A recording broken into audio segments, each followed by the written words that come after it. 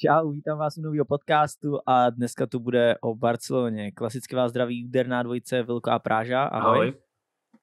A dneska je tady s náma i hrdý zástupce Barcelony Honza. Ahoj. Zdravím. Sako, Sako radši nepřišel po minule. A Vilko, pojď nám říct, co budeme probírat za témata, protože dneska to bude velmi, velmi úderné a naplňující. Tak pozrieme sa na tie príchody a odchody, ktoré sme vlastne ešte nerozobrali v tom minulom podcaste, takže to je vlastne uh, Luke de Jong, odchod Emersona, odchod Griezmana uh, a samozrejme odchod Pianiča, tak na to sa samozrejme pozrieme. Potom máme nejakú Barsu bez Messiho, čo zatiaľ sa tam predvádza, čo sa nepredvádza, zápas s Bayernom, pozrieme sa bližšie na Memphisa Depaja, možno Fatiho, celkovo na novú generáciu Barcelony a tiež na Kumana, na ktorého sa akože dosť podľa mňa kydalo v posledných dňoch, týždňoch, bol tam aj taký menší fight s Laportom, čiže na to sa pozrieme, no a potom v závere mám aj otázky z Instagramu, takže toľko asi dnešné témy, tak stručnejšie, ale samozrejme určite sa dostaneme aj do iných miest, kde sme ani nečakali. Takže začneme rovno tými odchodmi. Môžeme teda spomenúť prvý odchod Emersona Royala, no to, to Tottenham Hotspur za 25 miliónov. Vieme, že vlastne je to borec, ktorý ukázal v Betise vynikajúci potenciál. Barsa vlastnila 50%, e, vlastne túto možnosť odkupu potom využila, vzala ho. Dokonca Emerson nastúpil aj v prvých troch zápasoch, dvakrát z lavičky, raz zo základu a následne potom boom, predaj 25 miliónov. Honza, ty si ho videl v tých troch zápasoch, ja som ho videl iba v tom jednom zápase, kedy šiel z lavičky na nejakých 18 alebo koľko minút. Nemal na to, alebo šlo o čisto finančné dôvody? Já si myslím, že u Emersona přesně šlo čistě o finanční důvody.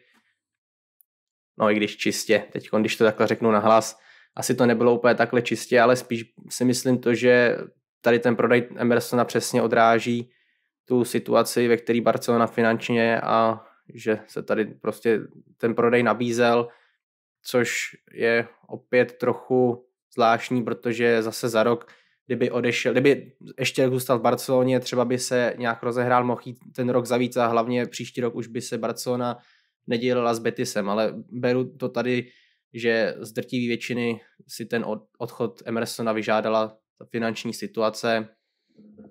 Pak když tam připočtu k tomu, že zůstává v týmu Dest i Sergi Roberto, tak eh, zase jako máte tam dvě alternativy na pravýho beka, čili tu třetí už asi moc nepotřebujete, ale zase na druhou stranu jsou to dvě alternativy, z nichž ani jedna momentálně není úplně kompetitivní.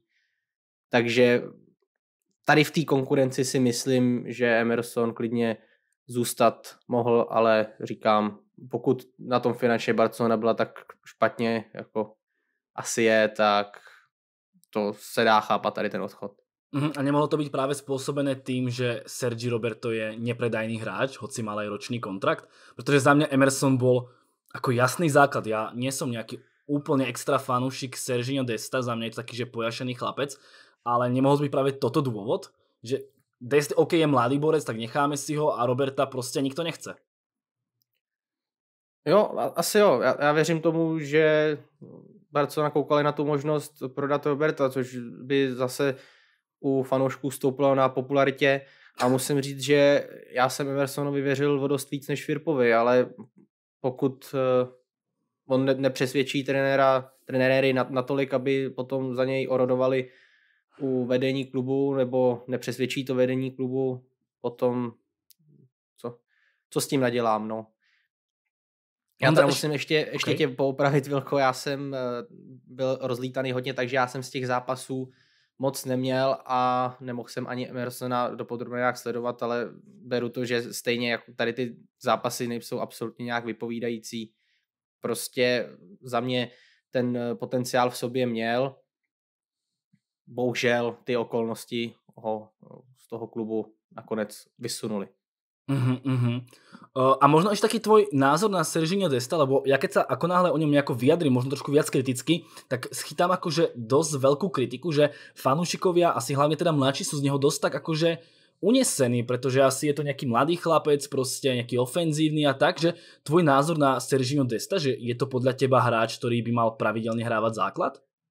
Jsem na tom podobně. Já doufám, že on se prosadí, ale pro mě je to další zejména vyhypovaný kluk. Řekl bych, že tam hraje dost i roli to, že je to američan a chtěla ho asi i Barcelona tady tím způsobem zviditelnit, protože prostě ty, i kdyby nebyla v takové situaci, tak by stejně po tady těch penězích z Ameriky toužila. To samý Konrad eh, de la Fuente, který už v klubu není, prostě je to, je to američán a tady ten trh pořád skýtá jakýsi finanční potenciál a zároveň to byla taková jediná no, možnost, komu, komu věřit, že nějaký ten potenciál má. Eh, určitě Dest eh, předved, že má směrem dopředu zejména hodně, hodně plusů, ale celkově to od něj prostě zatím za mě není, není úplně dobrý, i když ne, nedá, se, nedá se říct, že on by byl nějakou hlavní slabinou, to bohužel vůbec ne. Mm-hmm. Luky, ako sa ty pozrie na to rozhodnutie? Proste predať za mňa osobne prvú možnosť na pravú obranu a nechať si tam zvyšné dve, že ako vieme, že tá situácia v Barcelone je, aká je, ale aj tak asi také, že nešťastné rozhodnutie, respektíve toto by si asi klub ako Barcelona by sa tam nemalo stávať, aby proste prvá možnosť reálne asi tá najkvalitnejšia opúšťala klub len preto, že jeden borec je mladý a druhý borec je nepredajný. Uh, no hele, ono to je otázka, tam to bylo prostě hlavně o těch financích, že jo, Barcelona je prostě ve finančních problémech a je tam hrozně moc neprodejných hráčů, já věřím tomu, že kdyby šlo prodat Sergi Roberta, tak ho stoprocentně prodají. I kdyby ho měli prodat za 10, tak ho velice rádi a s velkou radostí pustí a nechají si radši toho Emersona. Na druhou stranu mu teraz Robertovi Ale... ponúkají nový dvojročný kontrakt? No tak jako zase lepší tam mít Sergi Roberta než vůbec nikoho, že jo? Mm-hmm. Víš, zase to musíš brát tak, že oni musí mít někoho na té lavičce. A pravděpodobně v základu bude asi ten Dest. Mm-hmm. Který je prostě mladý a není... Hele, ty výkony od ní jako nejsou ideální, zase neviděl jsem ho úplně tolikrát, ale jednak co, co slyším jako zpětnou vazbu takhle od vás, ale i co jsem četl a i to, co jsem ho viděl, tak no, zrovna mě dvakrát jako nepřesvědčil. Ale je to mladý kluk, má nějaký potenciál a podle mě Barca teďka musí jít, ani nemá na výběr jinak, než jít tou cestou těchto mladých talentů a doufat, že se chytí. Mm-hmm. Oni ani nemají jinou možnost, protože nemají momentálně finance na to koupit Hakimiho. Oni prostě musí jít cestou těchto mladých talentů a doufat, že se chytí. To, že je Amík je obrovský plus, protože marketingově, jak říkal Honza, to je velmi důležitý a může to Barce přinést další peníze. Mm-hmm. Mm-hmm. Tak uvidíme. Jenom velko... Jo? Pro mě, mě jenom udivuje, jako, že by si takhle toho Emersona rovnou poslal do základu, ty by si jako spíš eh, třeba prodal Desta, jo, než Emersona, když teda pomínám. Ne, akože urči, urči, uh, určite nie, určite som nešiel týmto, ale akože ja by som určite hrával Emersona. Ako to, to je jednoznačne, ale vzhľadom na to, že aká je tá finančná situácia, tak dá sa chápať toto rozhodnutie. Za mňa je to ale také skôr také, že smutné, pretože fakt za mňa Emerson je najlepší pravý back Barcelony, respektíve bol. Čiže ja by som určite nepredal Desta, myslím si, že to by bolo veľmi aj nepopulárne rozhodnutie medzi fanúšikmi, ale myslím si, že Emerson bol najlepší. Jo, Čiže to... asi takto nejako by som to asi zhodnotil. Že... Takže by si nechal jako všechny tři? Nie, aby som sa v ideálnom prípade snažil zbaviť Sergi Roberta. No a pokud by to nešlo? Tak dáva to zmysel ten Emerson. Jo, takže by si ve finále taky stejně. Jo, určite áno, vravím, že je to také, že, okay. že smutné, že reálne sa musíš zbaviť najlepšieho hráča, ktorého máš na tej pozícii, pretože vravím, že Emerson za mňa bol najlepší na tej pozícii. No ale inak to asi nejde, no. Čo, čo je hmm. veľmi, hmm. za mňa veľmi smutné a takto som si ja, akože na takejto Barcelone som ja akože nevyrástol, no. Čiže asi takto by som to, to zhodnotil. Čiže, akože dá sa chápať to rozhodnutie, ale je také, že veľmi, veľmi podľa mňa smutné. No. Aj ten Emerson bol z toho taký trošku sklamaný, čítal som nejaké vyjadrenie, že o, sľubovali mu tam priestor, že bude hrávať a tak, no ale nakoniec prišiel Tottenham 25 miliónov na stôl, no a si inak sa nedalo, no. Tak to se samozřejmě dá chápat, no, z pohledu toho Emersona, myslím. A jak na tom Barcelona reálně byla špatně, to se asi nikdy nedozvíme, protože to, co říká Laporta, je úplně něco jiného, než potom, co slyšíte říkat třeba Tebase. Já bych asi tam zvedal ruku za to toho Emersona aspoň ten jeden rok nechat, když tam není ani jako levej back vlastně a teď se zrovna Alba zranil, takže tam by se i otevřel nějaký prostor, no a kdybyste nechali eh, Sergio Roberta sedět na úkor toho, aby mohli o místo bojovat zejména Emerson a Ades, tak by to asi fanoušci jako kvitovali s povděkem, si myslím. Otázka je tá finančná situácia, či to bolo fakt až tak nevyhnutné ho predávať. Ak to nevyhnutné nebolo, tak samozrejme to za mňa blbý ťah. Pretože myslím si, že Emerson má potenciál ísť s cenou ešte oveľa vyššie. A už len to, že ho chcel Tottenham, nielen, že teraz Tottenham je v nejakej úplne že top, top, top forme alebo tak, ale je to stále proste veľký klub a keď sa oni o neho zaujímajú, tak podľa mňa asi, asi tú kvalitu má. Takže asi, asi toľko k tomu Emersonovi. Inak Eh, čo sa týka tej, už keď si to začal, náhrada za Albu, bude ňou práve ten Balde, ktorý sa ukázal v zápase s Bayernom, alebo má tam nejak Barca ešte nejaký, nejaký iný variant? Nemá. A já si nemyslím, že by jí byl ani Balde, že Kuman... Trochu by mě to překvapilo, kdyby ho tam dal. Na druhou stranu dá se říct, že tady to by měla být jeho práce, tam nikoho takového dát. Ale ta náhrada za Albu, se taky ukázalo, poslední roky jako Mission Impossible. Lebo predali Zase... ste Firpa, to je vlastně další hráč, kterého tu mám napísaného. No, tak to reálně asi ztráta není. No, říkám, fakt by mě víc mrzel ten Emerson, i když právě protože nevím, co za, zatím by mohl ukázat, co by mohl dokázat. Ten Firpo si myslím, že tu svoji šanci už prováhal. Ne, že by teda nastupoval nějak hodně nebo pravidelně, to, to vůbec.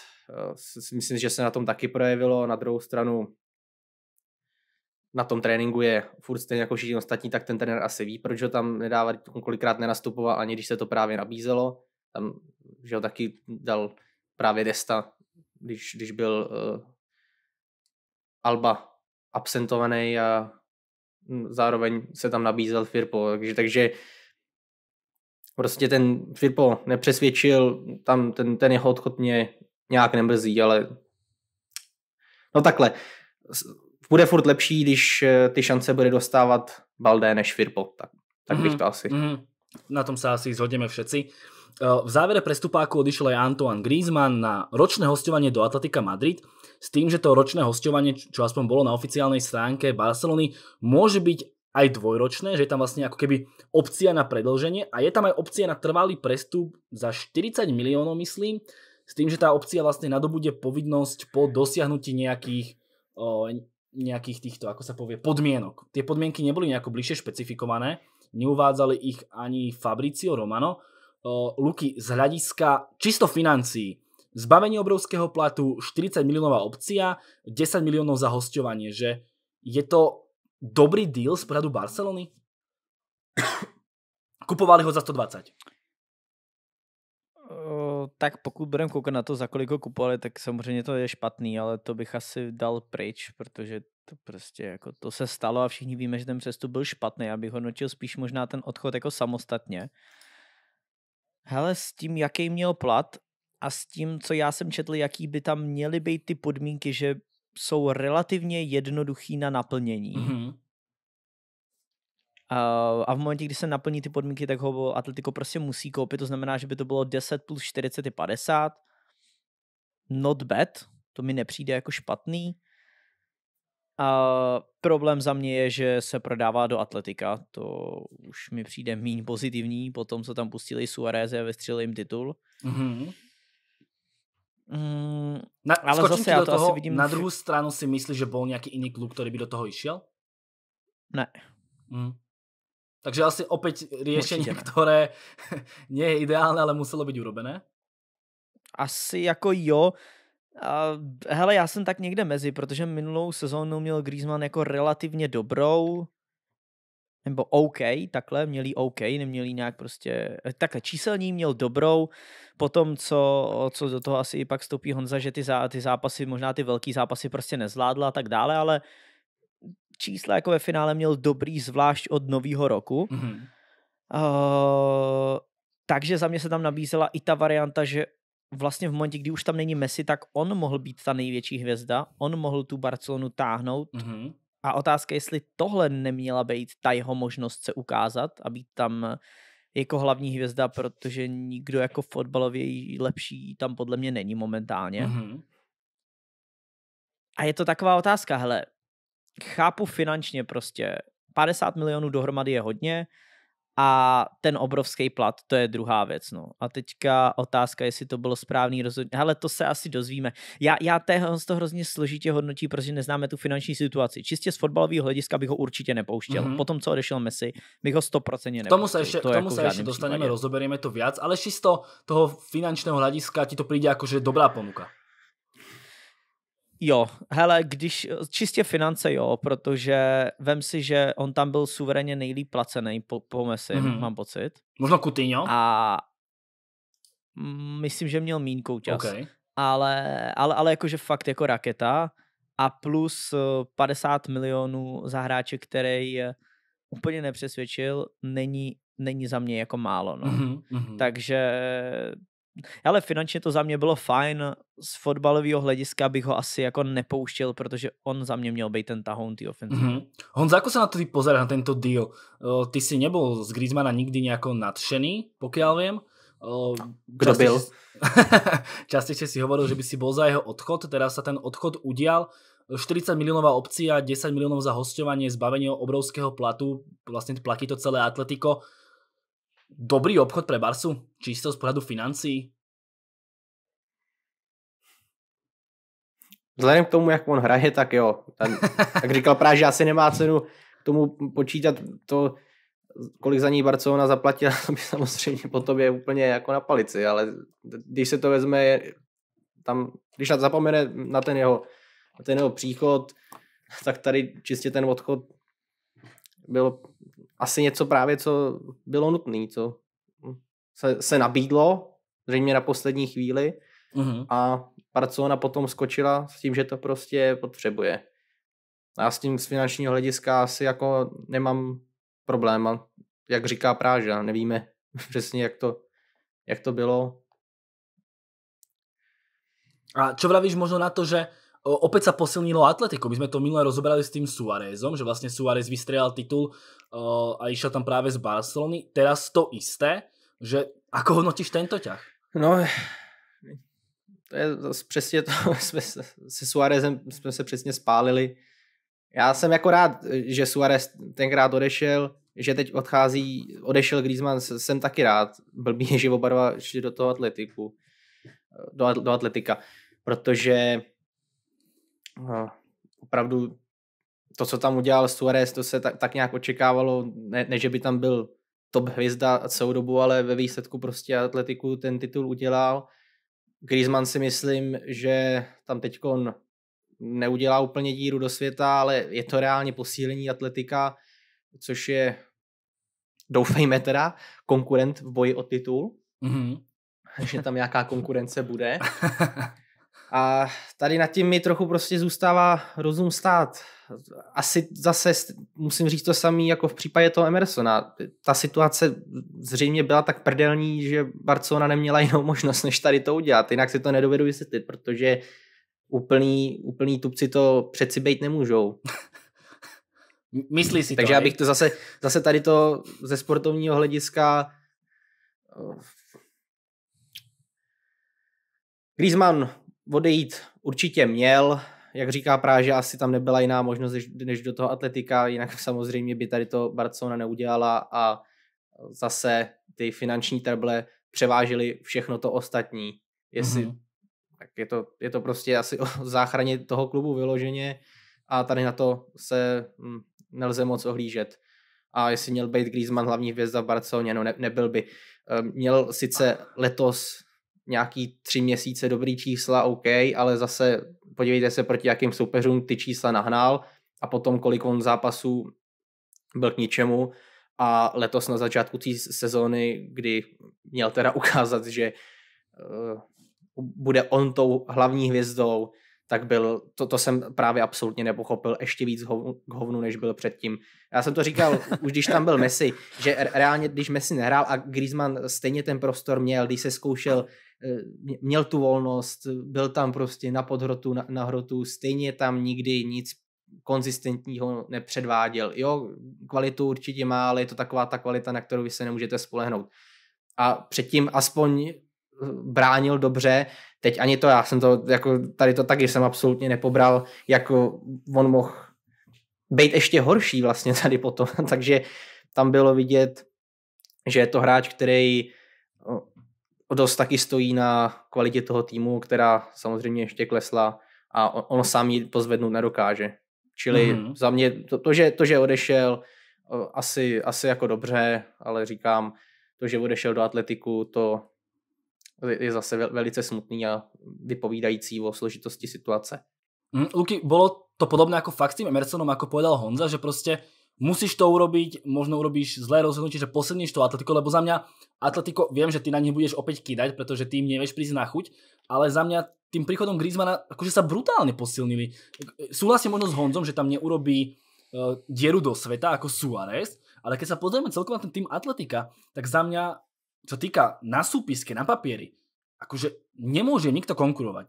Rodrigo de Paul, Griezmann, Felix, Suárez, Marcos Llorente, uh, to tam je, Koke tam je, jako fakt ten tým je vynikající, Trippier. Ne, jako souhlasím, ten tým je výborný, ale důležitý je zmínit, že na papíru, když se podíváš na Felixe, tak jako ten je hrozný. To jako ten borec podle mě by měl jít na hostování někam prostě do Espanolu. Ty To bylo taky dobrých 120 mega, no.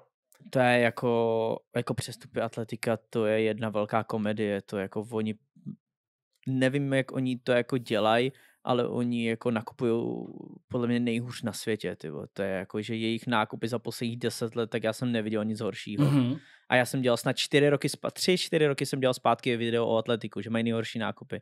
A od té doby se vůbec nic nezměnilo. Ale stále to posilnění, povím to možno největšího konkurenta je to pos... Ne, určitě, jednoznačně. Je to posilnění a za mě Griezmann jako je kvalitní, kvalitní fotbalista. Určitě je to posilnění, když to srovnáš, že půjde do základu místo Felixe, tak je to velký upgrade. Uh, za mě jako Felix, uh, i co jsem ho viděl v Portugalsku, ten borec nemá nic co dělat v té repre. Jako. A takže prostě klasicky přehypovaný talent za mě Felix. Možná se něco změní za dva roky, za tři, nevím, může se zvednout. Za mě momentálně absolutně nenaplnil nic z toho, co do něj bylo vkládaného a no a tak a podle, podle mě to skončí tak, že rok před koncem smlouvy v Atletiku půjde někam za, za 20 milionů. Lebo je právě jakože velmi reálné, že vlastně Felix mal být náhradou za Griezmana a teda sa možno budeme bavit o tom, že Griezmann vlastně náhrad za Felixa. Jo, no a jako Griezmann je určitě lepší než Felix. Jako velmi mě překvapilo, kdyby Felix ho vytlačil z základu během toho. Mm-hmm. To by fakt Griezmann musel být úplně příšerný. A nevím ani, co byla otázka. no, že vlastně posilňuje se vlastně Atletico, tak len, len to jsem Jo, no to, jo, to je, to je jako fakt. Každopádně ale je možný, že Atletico ten titul vyhraje, ale jestli ho vyhraje, tak to bude muset být Real úplně neschopný a Barsa, tak tam se tak nějak očekává, ale jako jestli Atletico dvakrát v řadě očekává, vyhraje jako titul, tohle Atletico, který jako, no, no za mě jako to, jako když Atletico vyhraje, hele, Atletico tehdy, když tam byl Diego Costa, tak to bylo fakt Atletico, který byl silný a který si věděl, že nedostávají góly a vždycky tam nějak ten jeden dají. Mm-hmm ale tohle Atletico v žádném případě se nemůže srovnovat s tím Atletikem, který tehdy vyhrál titul uh, ještě, ještě s, Die, s Diegem Kostou. Mm-hmm. Jako mhm. to byl úplně jiný tým a hlavně ta konkurence Realu a Barsy byla úplně na jiném levelu. To jakože současný Real a Barsa to jako nemá nic společného s tím, jak to vypadalo předtím. Mm-hmm. OK, ale pojďme, pojďme k tomu Griezmannovi ještě. Eh, ako by si zhodnotil jeho pôsobenie v Barcelone? Protože viem, že my sme ho celkom prvý rok akože bránili, pretože on hrával reálne, myslím, že ľavé krídlo, chudák sa musel vrácať do mm. defenzívy, veľmi tam bránil a podobne. Mm. Potom Hmm. Bolo to akože podľa mňa dosť mrhanie potenciálu, možno trošku aj naštrbilo jeho psychiku alebo niečo. Potom prešiel na tú lepšiu pozíciu, stále nepresvedčuje výkony. Ako povedal Honza, potom mal posledné 3-4 mesiace akože veľmi dobre, čo sa týka čísel a paradoxne po nich bol poslaný preč, že uh, ako by si to zhodnotil to pôsobenie v Barcelone? Akože, ja neviem. Môžeme aj... To je 100% No, no akože nejakým číslom alebo niečím. 120 miliónov, dva roky a toto sme tam viděli od Griezmana. No dobře, tak pokud tam se bavíme o ceně 120 milionů, tak dva body. Jako. Mm-hmm. To je jako úplně mimo, že jo, za, za, za 120 milionů. Ale tu cenu bych fakt neřešil, protože Tam když výkupka, řešit tu no, cenu, tak tak. řekneme, že to, no, to prostě je naprosto jako příšerný za těch 120 milionů. Ale To doplatil je- možno na ten prvý rok v Barse, alebo, alebo nie? Hele, hlavně prostě jsou úplně idioti ve vedení Barcelony, nekopíš hráče za 120 milionů a nedáš ho na pozici, na který v životě nenastoupil. Mhm. To jako je absolutně mimo, že jo. On, no je to prostě úplně, úplně jako, když už chceš někoho koupit za taký prachy, tak musíš naprosto přesně vědět, jak ho využiješ a ne, že je dobrý fotbalista a něco se stane. Mhm. To, to, to není prostě OK. To je, za mě to tohle jde z drtivý většiny za vedením Barcelony. A tenhle přestup dává nejmín smysl ze všech. Dembeleho, to jsem řekl, že nikdy kritizovat nebudu. Prostě zranění to nemůžeš ovlivnit. Uh, Coutinho, jo, nehrál na svoji pozici, ale určitě bych věřil víc jemu, uh, víc jemu na tom křídle, než uh, vlevo teda, než, uh, než Griezmannovi, který byl podle mě jako úplně out. To jako Mhm. jeho dávat doleva, když on je pomalej, prakticky jeden na jednoho k ničemu a ještě má, je to levák na levé straně, takže jako co bude tam utíkat do centru, Mhm. to je, to je za mě jako, jako extrémně, extrémně mimo a spíš bych s tímhle šel za vedením Barcelony, než za samotným Griezmannem. Samozřejmě i on mohl hrát líp, ale kámo, já jsem ho viděl, když tady byli, když tady hráli se Sláví. Ten borec byl úplně mimo, on byl úplně ztracený, tam někde běhal u čáry, jak kdyby, mně prostě přijde, že kdyby hrál on nebo Dembele, tak dostanou oba stejný úkoly Mhm. Což je jako extrémně mimo a extrémně fotbalově neinteligentní. To je jako až, až za mě jako neuvěřitelný v momentě, že dva typologicky úplně diametrálně jiný fotbalisti a prakticky na hřišti mají plně to stejné. Mhm. To, to, to prostě Griezmann v tom ani nemohl uspět. Mhm. Potom podle mě mu to dojebalo psychiku a pak, sou, pak souhlasím s tím, že i když hrál na těch eh, lepších postech, tak nikdy už se do toho nedokázal vrátit, ale evidentně prostě neměl sebevědomí. O, víš, on přišel z Atletika, kde byl největší hvězda, celý to stálo na něm, všichni k němu zlížili, všichni ho milovali. Teďka přišel do Barcelony, kde se všechno točilo okolo Messiho. Messi tam byl král a on byl jenom jeden z mnoha. Mhm. No jenom, že on ve finále ani nebyl jeden z mnoha, protože hrál ještě mimo svůj post a ještě mu nadávali fanoušci. A to prostě s tvojí psychikou udělá, mm, on prostě šel tady odsud sem a, a to s tvojí psychikou něco musí udělat. Takže já si myslím, že, že on ten to angažmá v Barceloně prohrál v hlavě. Mhm. Ešte, kým sa dostaneme k Honzovi a tejto podobnej otázke, tak ešte dám ti jednu, že ide podľa teba viac o futbalové alebo finančné rozhodnutie predať Griezmana, respektíve poslať ho preč? Z pohledu Griezmana Z nebo z pohledu klubu. Barcelony? Lebo vieme, že Griezmannovi môžeme to zhodnotiť akože negatívne pôsobenie, že nemal tam taký ten impact, ale sú tam aj tie financie, Jo. že čo viac podľa teba akože rozhodlo v tomto smere? Určitě finance. Protože e, reálně, když se podíváme, tak určitě nešli s tím, že Luke de Jong bude lepší. Mhm. to jako sorry, ale že chvilku vím, že Honza není fanoušek Griezmana, ale Luke de Jong, Luke de Jong je svoje kapitola. Jako to, Tomu ten dostaneme Seville. samozrejme. Takže jako to bylo stoprocentně finanční, to přece jako, jako je naprosto jednoznačně, to nebylo fotbalový rozhodnutí, ale finanční. Honza, futbalové či finančné rozhodnutie a potom aj tá otázka, že ako by si ty zhodnotil toho Griezmana a jeho pôsobenie v Barcelone. Na to sa veľmi teším z tvojej strany. Já to nebudu jak rozkecát, protože Paráža už to tady tak jak eh, řekl všechno. Určitě finanční, kdyby to jako sportovně šlo, tak by ho aspoň jednu sezónu ještě Barcelona zkusila, si myslím. Nicméně sportovně to byla jedna velká bída a jak zase i Práža už řekl, ten jeho přestup byl od začátku odsouzený k neúspěchu. Já prostě stejně jako desítky milionů, možná ostatních do dneška nechápu, co se tam komu v hlavě urodilo a hlavně teda prvně mi řekněte, co vlastně Griezmann má. Já jsem Griezmana nikdy neměl rád, já to jako nepopírám, ale co Griezmann má? Čím on je, čím on je hvězda? Mhm. No tým asi, že bol produktívny, no. Dokázal pracovať predtým možno? Produktivní. Tak, a teď on taky před tím přestupem to, to byl, dal pár gólů a z toho půlku z penalty, jako no, t- já, já nevím, já, jako uh, Griezmann eh, neříkám, že je špatný, to samozřejmě vůbec ne, ale neměl nějaký vyloženě uh, hvězdnej, superhvězdný atribut. Eh, jako Messi, jako Ronaldo, jako Leva a prostě když takovejhle hráč se sebevědomím, se sebevědomím až na půdu řekne, že, že je u stejného stolu jako eh, Messi a Ronaldo, tak zase podle mě by to sebevědomí, sebevědomí měl nějakým způsobem na tom hřišti ukázat.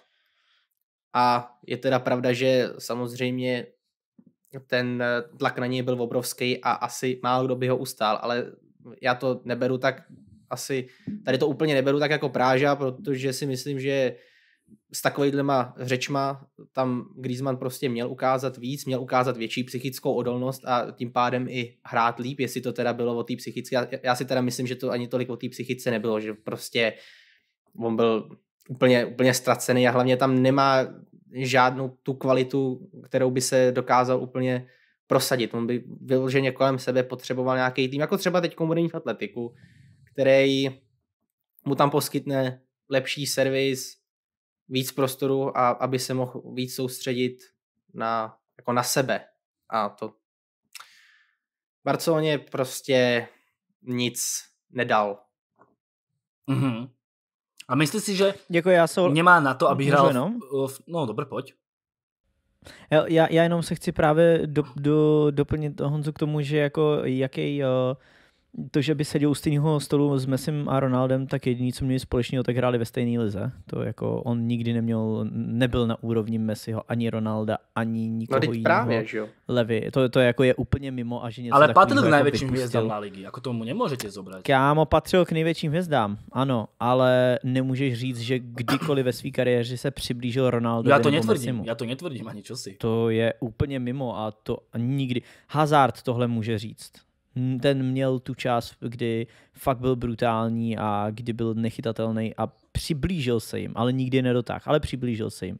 Ale Griezmann se jim nikdy ani nepřiblížil. S tím souhlasím. To jako, to jako v žádném případě. Já nevím, jestli Griezmann měl být marketingový. To, je teda pravda, že on marketingově měl to jméno obrovský, když přestupoval. mm-hmm, ale to je, no. pff, že by se dokázal, no, no já nevím, no, pochybuju, že by se dokázal nějak zaplatit, kdyby hrál prostě. Kdyby.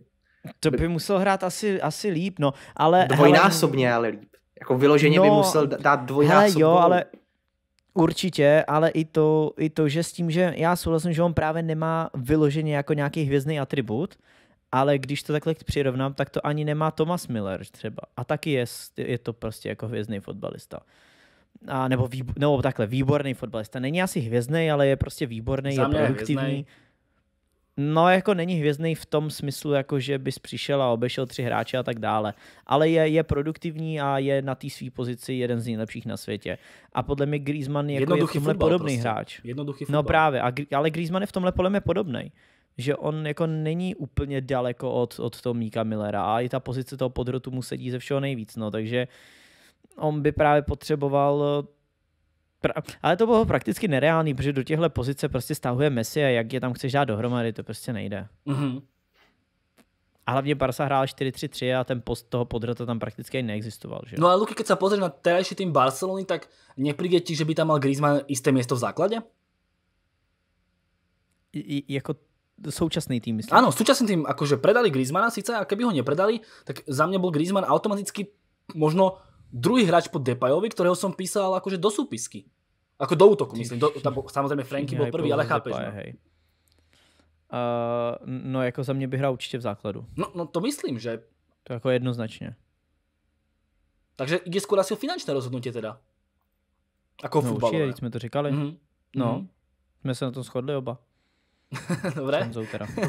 no a teraz taká ďalšia vec, neviem, či ste zaregistrovali, ale z týmu odišiel aj Messi, uh, no a nemal by byť Griezmann uh, tou najväčšou star týmu, pretože behom dvoch rokov padli také argumenty, Luky, ty si to už trošku načrtol, uh, že Griezmann nehrá tak dobre, lebo nie je najväčšou hviezdou ako v atletiku, že jak si ty povedal, že nemal byť tento rok konečne ten jeho po tých dvoch neúspešných? Respektíve... To je otázka na mě? No, no, no, na teba, že či právě nevěří, že no, tento rok to... by byl ten jeho nejlepší. No a tak to jsem říkal už, ne? No, Já jsem právě jsi... říkal, že, že eh, právě tenhle rok jako měl být jeho a že proto... Mm-hmm. Honza, ty jako, je, vidíš to rovnako? Na to nemá prostě, nemá na to. Já se nemůžu pomoct. to není hráč, který by tam byl kor v takovéhle situaci. On nemůže být tam.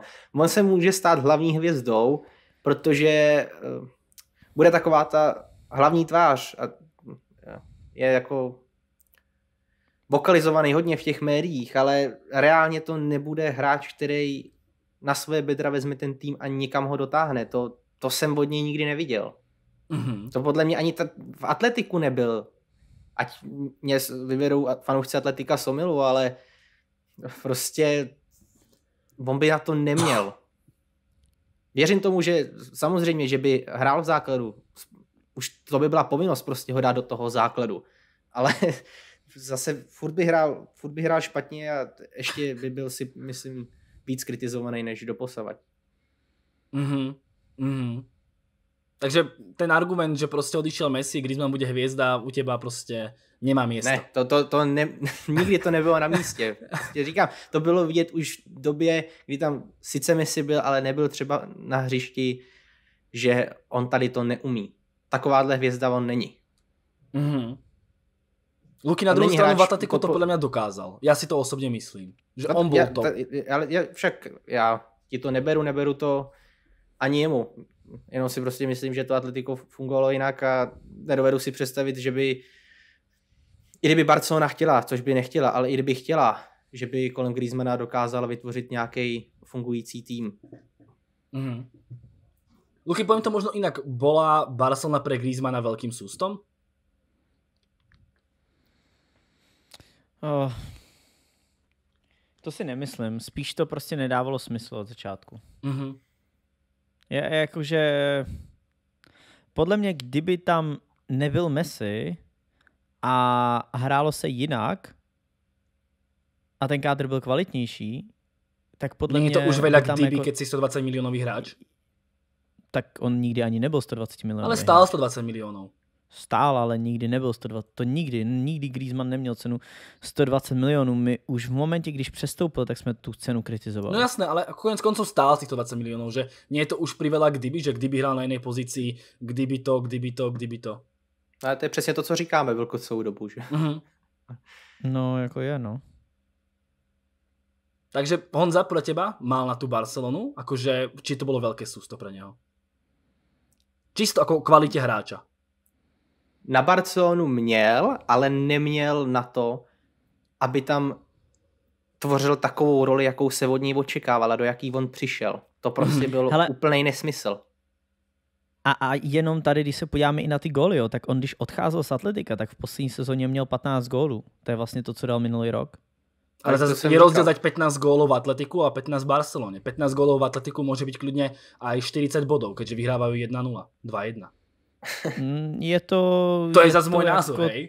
Že 15 gólov v Atletiku, 15 gólov v Atletiku jo, ale Suarez, mě akože... Suarez, víš co, Suarezovi ty vole bude za chvíli 45 a dal jich minulý rok 20, že jo?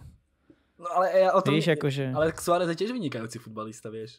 No je, je, je, ale hele, má tady, co má tady goly, tak má 15, rok předtím 19, předtím 16 a potom tam měl teda dvě výborné sezóny, kde má 22 a 22 v lize. Za mňa to toľko golov v Atletiku je akože veľmi dobré. Zvlášť, keď vyhrávaš 1-0, 2-1. No jako, hele, možná, ale každopádně, co je podstatný, tak ta jeho poslední sezona v Atletiku byla i jeho nejhorší sezona v Atletiku. Mm-hmm.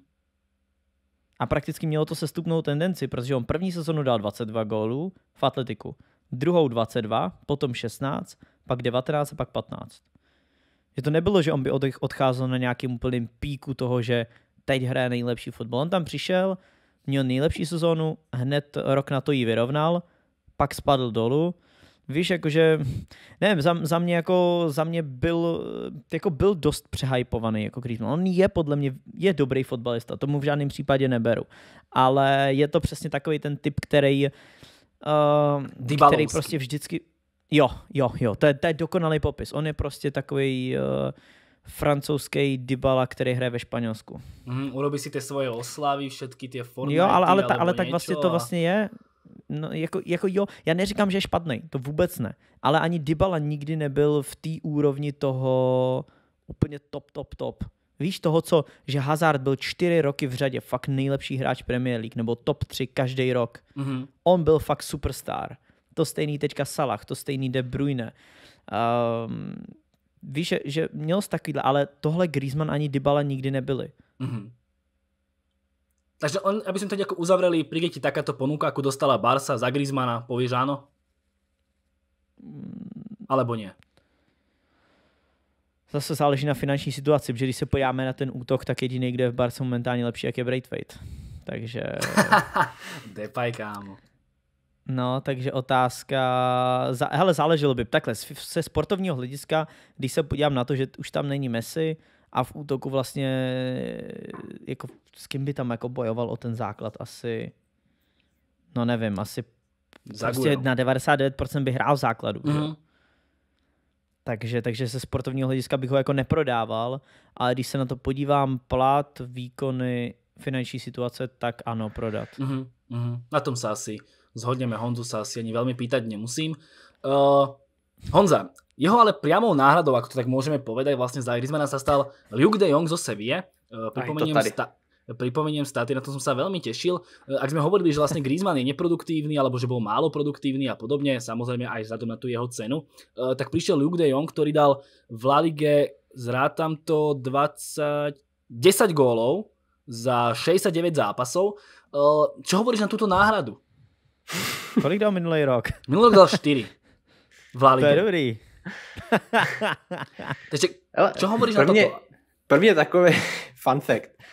Polovina těch gólů, co, no, skoro polovina těch gólů, co De Jong za Sevillu dal, bylo proti soupeřům eh, Real, Atletico, United, Inter, Barcelona, Valencia a Dortmund. Mm-hmm. To třeba Griezmann nikdy nedokázal si tady to. Takže to je vlastně, že big match player prostě pro Barcelonu. V Barceloně tady to Griezmann nedokázal, jsem si téměř jistý, když jsem to teda zapomněl ověřit, jestli mm-hmm. to mhm. dokázal v té kariéře vůbec, nevím. Uh, každopádně tady v tom, to je tak asi jediný příslip a uh, tím bych to téma De Jonga uzavřel a šel dál. ne, já bych se mu fakt já, já, bych, já bych to probral. Já bych to chtěl vážně. 40, 40 minut podcastu o Griezmannovi a teď budeme... Nie, tak De Jongovi dáme menej, ale akože reálne, ako keď sa to udialo a videl si, že proste si vie tam meno, že De Jong, že Griezmann odchádza, prichádza De Jong, akože také tie pocity, alebo čo si si akože myslel? No, pocity. Já fakt... moje, moje, pocity jsou, moje pocity jsou opravdu za poslední roky, tady taky opakuju podcast, co podcast, víc a víc otupělý. A já teda musím přiznat, ta Barcelona se mi poslední už ty dva roky, tři roky vyloženě odcizila hrozně. Ne, že bych to nesledoval, ale spíš to už tak nad tím jenom mávám rukou. Já tam nevidím jakoby nic, o tom jsme se tady bavili už stokrát, že tam za Bartomea nebyla žádná koncepční, koncepční práce a teď to začalo taky úplně jako nesmyslně. Zase právě jako mm, z hlediska finančního je třeba říct, že to je OK. Byli tady, mm, řeknu, podobní hráči, Muriel, že jo, Boateng, který přicházeli přesně z podobného důvodu. Můžou tady něco udělat, pravděpodobně nic neudělají, ale když nic neudělají, byl tady skoro zadarmo, vlastně De Jong ten je úplně zadarmo, dá se říct. A Platě mu asi to. Nikoho to, nikoho to nebude srát. Já si tady tím nejsem jistý. Já jsem teď možná slyšel na, nakonec, že ani ne, nebo že to, že to, jednou jsem viděl, že to půjde na půl a teď jsem zaslech snad, že to bude radit Sevilla.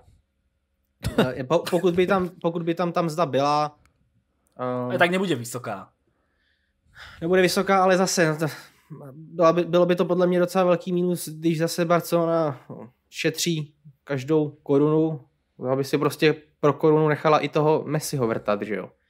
A najednou vám přijde Luke de Jong. No, ehm, ze sportovního hlediska jedním slovem úlet a ten hráč eh, tam nic neudělá.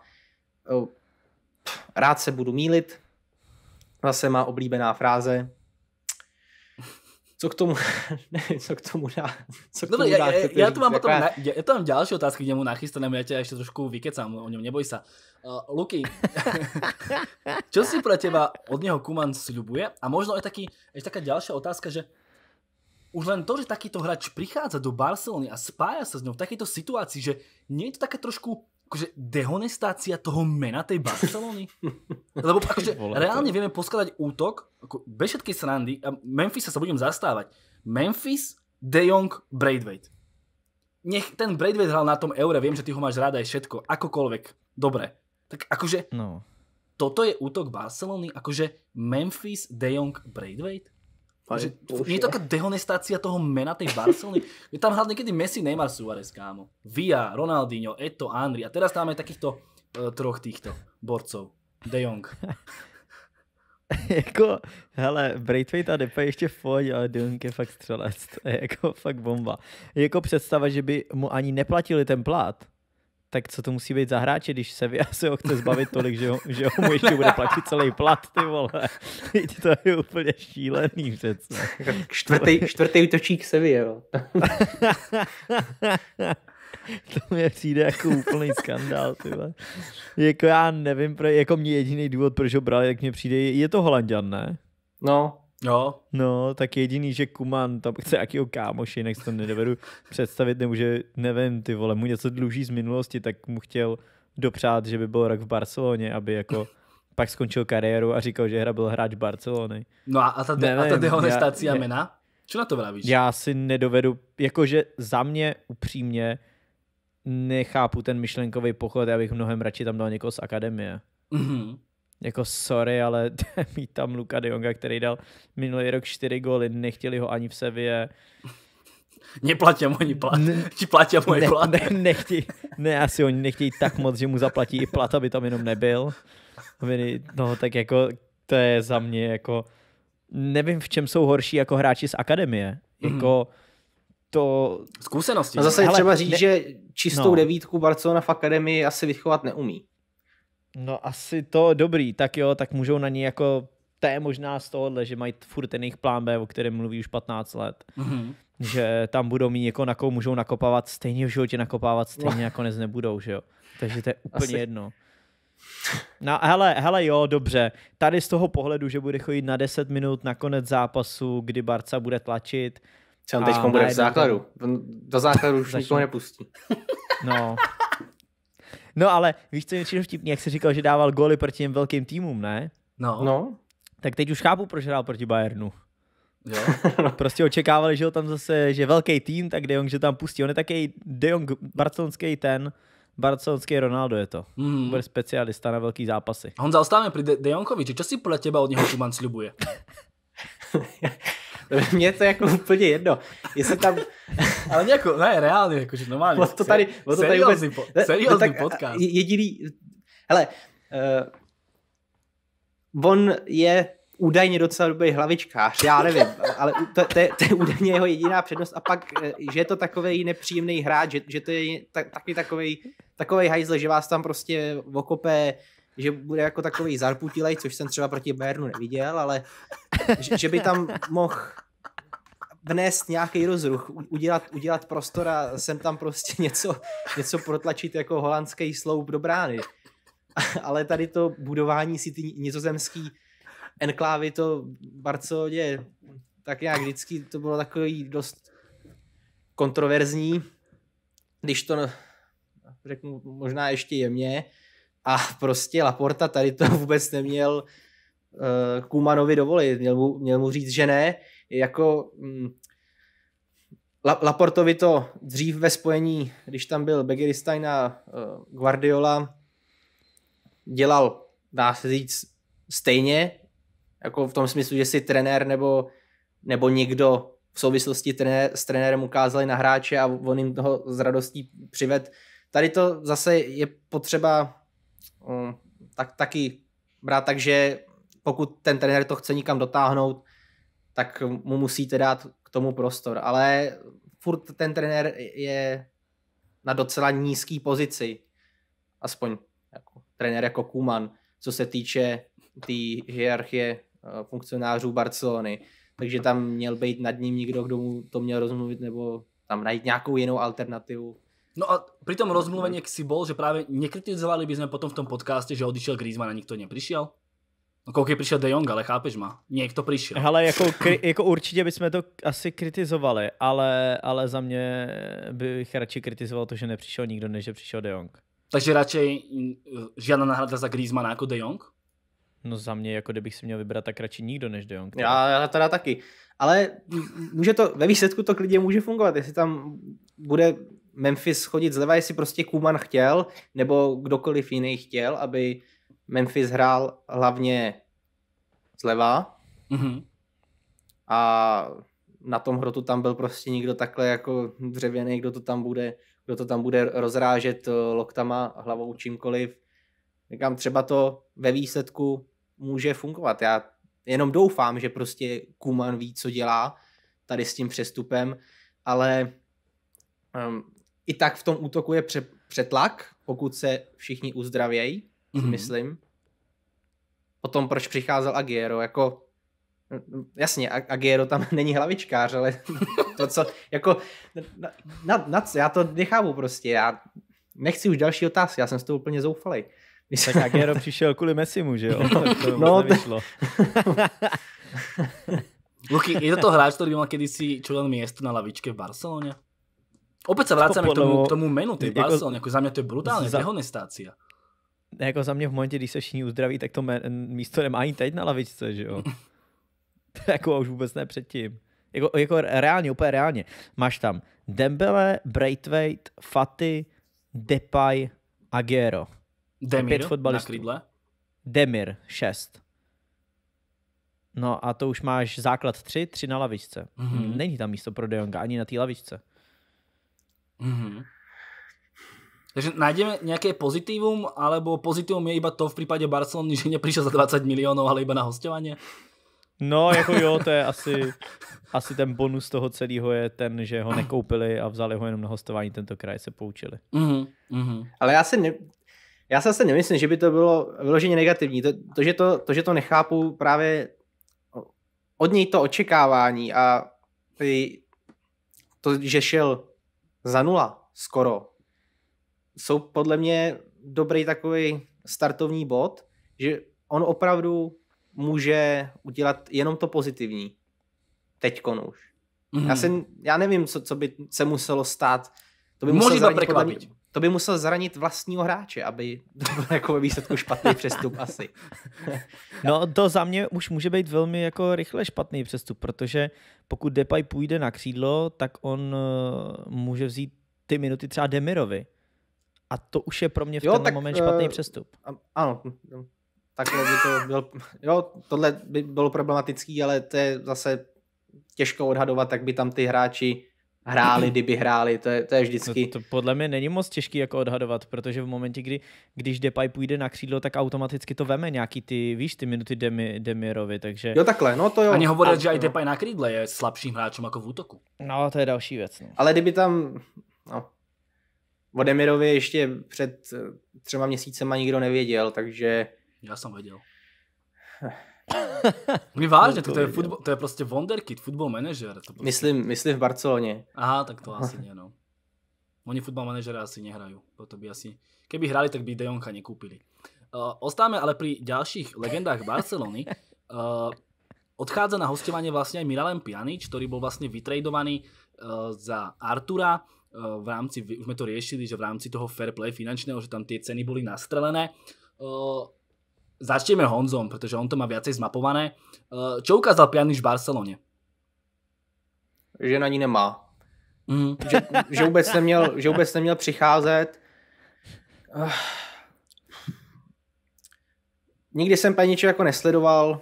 Rád bych se podíval na nějaký jeho top, protože to, na čem si budoval pověst, to muselo být hodně vzdálený tomu, co předváděl v Barceloně, což byl čirej alibismus pomalost. Ehm, je teda vidět, že on v sobě má nějaký přehled, ale zase to, to byl čistě finanční tah, i když tenkrát Bartomeu říkal, že v žádném případě, že tady to bylo sportovní, to je prostě hráč, který ten tým nemohl nikam posunout, to bylo, to je hráč dobrý tak jako pro údržbu, když vedete 2-0, tak ho tam pošlete, aby se nikdo nezranil, snad ten zápas dokopete nějak do konce ale mm. vlastně jediný, jediný pozitivum tam bylo nějaký takový spojení s Messim ve smyslu, že on měl zvednutou hlavu a dokázal toho Messiho rychle najít, což byl opravdu mm, jediný, jediný jako kladný bod, který bych mu dal za celý to působení v Barceloně. Já, no, ne, že by to byl nějaký tragický hráč, to vůbec ne, tak, tak jako byl, byl v Juventusu, ale říkám, Barceloně neměl na to ani, aby vytlačil nevím koho, jednonohýho Buskece s nejhorší formou v životě, tak co tak s takovýmhle hráčem? Luky, Bartomeu rozprával, že to bylo športové hľadisko, eh, tak potom stálo ho za to meniť za Artura? Hmm.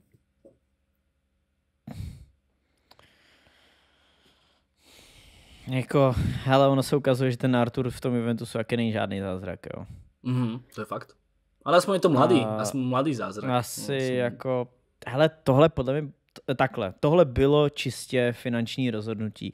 Ať Bartomeu říká, co chce, jeho slova nikdo nemůže brát moc vážně. To jako mm. jsme se asi přesvědčili několikrát. Prostě jo. to bylo finanční rozhodnutí, to je naprosto jasný a jistý a čistý, jasně viditelný. Mm. A to, jak říkal Honza, tak Pjanič byl reálně výborný. Dva roky zpátky byl za mě Pjanič nepostradatelný hráč Juventusu. A když jsem viděl Juventus bez Pjaniče a Juventus s Pjaničem, tak to byly dva jakože hodně, hodně rozdílný týmy. A fakt tam byl jako naprosto klíčový. A Já bych šel skôr do, skôr do historie už troch rokov. Už ten posledný no, rok v Juventuse ako bol jednouky medzi slepými, ale už to nebyl ten Pjanič. OK, OK, tak tři, tak tři roky zpátky, ale prostě kdykoliv jsem viděl Juventus bez Pjaniče a Juventus s Pjaničem, tak to byly fakt dva rozdílný týmy a prakticky jako takhle, velký, velký vliv na to mělo, že on tam byl jediný, kdo uměl s míčem. Mm, to je fakt. Jo, no, když, tam, když ti tam v záloze konkuruje Kedira, Matuidi, uh, Bentancur a tak Emre dále, Can. tak jako Emre, no ty krávo, tak to asi nikdo z nich ti rozehrávat moc nebude. A on tam byl takový ten, který to jako jediný držel pospolu, před ním všichni běhali, a on tam mě to tak trochu přišlo jako jediný, kdo tam umí hrát fotbal v té záloze. Mm-hmm. Mm-hmm. A ale, ale byl fakt naprosto rozdílový a já jsem eh, nad ním vždycky držel ochranu ruku a vždycky, vždycky jsem ho bránil, protože mně přišlo, já jsem si říkal, že hele, kdyby hrál Juventus bez Pjaniče, tak to je prostě taková Boloňa druhá. Mm-hmm. OK. Uh, odišiel teda aj ten spomínaný Mateusz Fernández, jeden z najlepších nákupov Barcelony. Uh, samozrejme, že odišiel zadarmo. Uh, Honza, pochopil jste nákup, alebo stále hledáš zmysel tohto nákupu? Já ten smysl nehledám.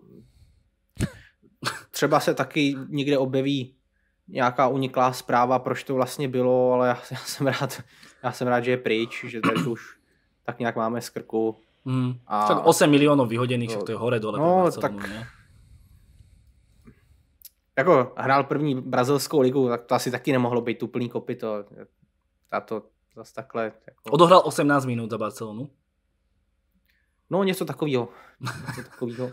za 8 milionů dobré, ne? A to, radši, to, radši to nebudem přepočítávat, no, ale... tak klidně spočítám, bylo to Prostě jak jsme se tady řekli před tím podcastem, to se dávalo 8 milionů nějaký mafii, nebo komu, no. no jsem musel, musel okay, zabránit to... střelbě někde a, a bylo to tak jako... Takových těch přestupů už bylo dřív před Bartomeuem. Takových přestupů bylo a ještě bude. To jsou prostě tady ty brazilský hráči. Jednou hmm. to třeba vyjde. Sice na tom dohromady po tady těch 8 až 25, 30 milionech ve výsledku projebete klidně 300 těch milionů, ale jednou to vyjde. Mm-hmm. Pak, vyjde jeden, pak vyjde jeden za 30 a bude si říkat, jest, to byl hustý nákup za těch 30. No právě. Ve finále by si bude stát 300 pade chudák, ty vole. Uh, Honza, ak sa pozrieme celkovo ten prestupák, tak uh, ako by si ho zhodnotil možno, že uh, čo ti možno chýba, čo sa tam akože neudialo? Nemusí o, o nákupy, ale napríklad možno aj o odchody. Práve taký Umtiti je prvý človek, ktorý mi napadne, že stále je v týme že ako by si to nejako ty zhodnotil ten prestupák. My sme to už s Lukým hodnotili, ale kľudne aj ty nejaké slovičky. No, Čo celkově možno chýba? Mně v tom chybí smysl, mně v tom prostě chybí ta koncepční práce. Mm-hmm. Laporta tak nějak pokračuje v tom, co začal, podle mě čirá improvizace. Opět musíme připomenout, že ten klub byl v katastrofální situaci ale tohle přestupový období vnímám, vnímám špatně. Ten management toho kádru je špatný. Je to špatný teda jinak, než to bylo špatný předtím, ale furt tam nevidím nějaký východisko. Je to, ten, ten přerod začal zvláštně a takhle je jasný, že ten přerod bude trvat minimálně tři roky, si myslím. Než Aby sme to vysvetlili, bude... chýbajú ti napríklad príchody mladších futbalistov? To je to napríklad?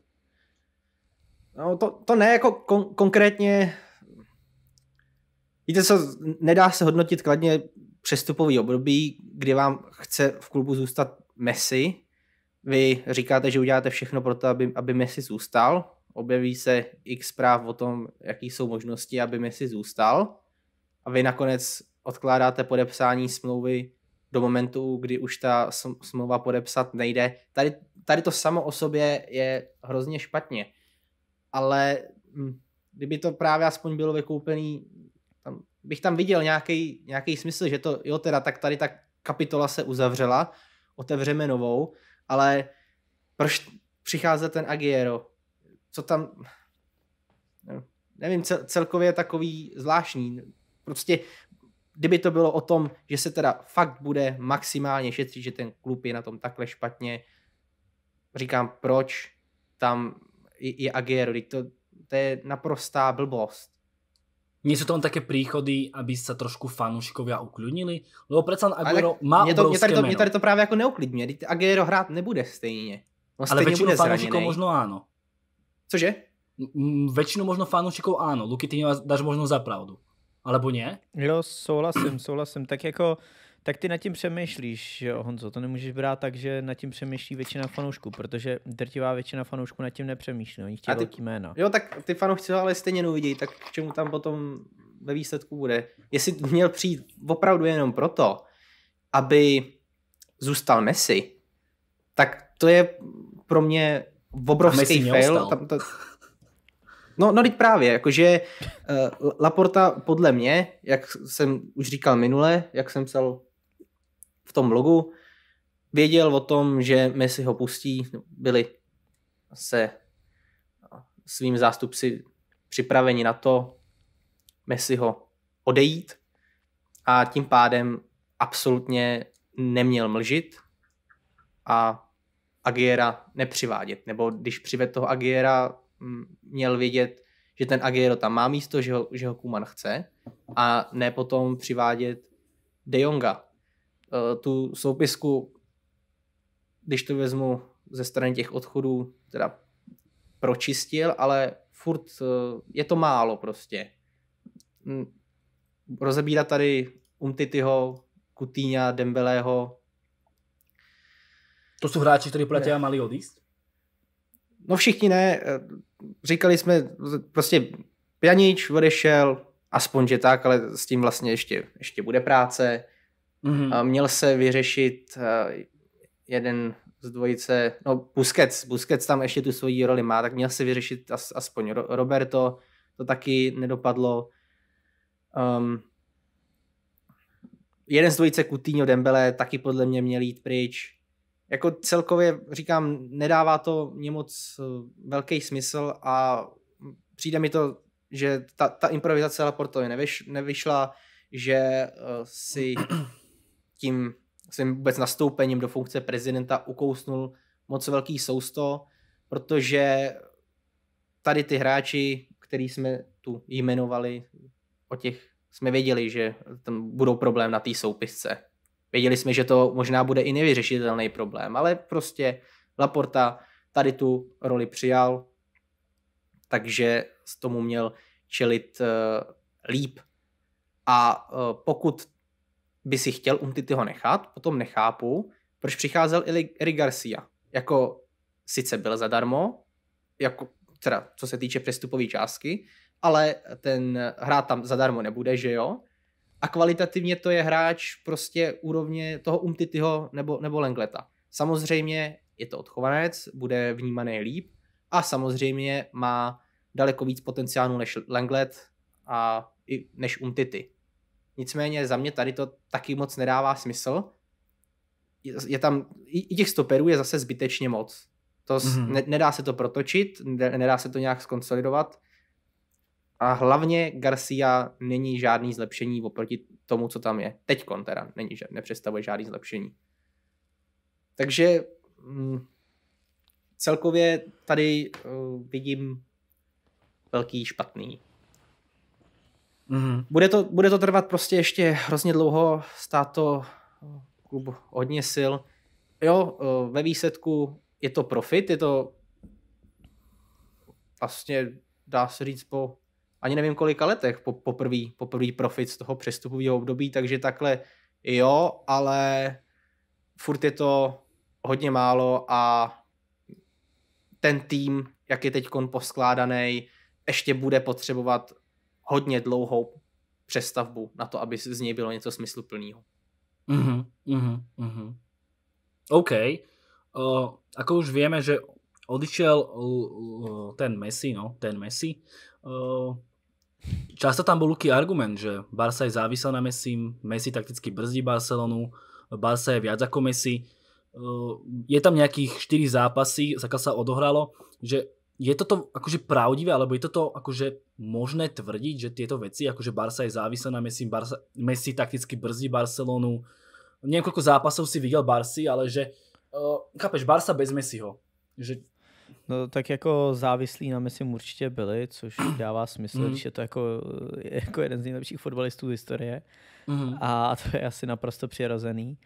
A určitě Messi nic jako nebrzdil. Hmm, jako to, že Messi jako se nevracel, tak to je asi jako pochopitelný. To prostě byl to jejich nejlepší hráč, tak eh, je potřeba mu tu taktiku přizpůsobit. To je asi jako naprosto jasný, stejně jako jakýmukoliv jinému nejlepšímu hráčovi by si to přizpůsobilo v jiných týmech.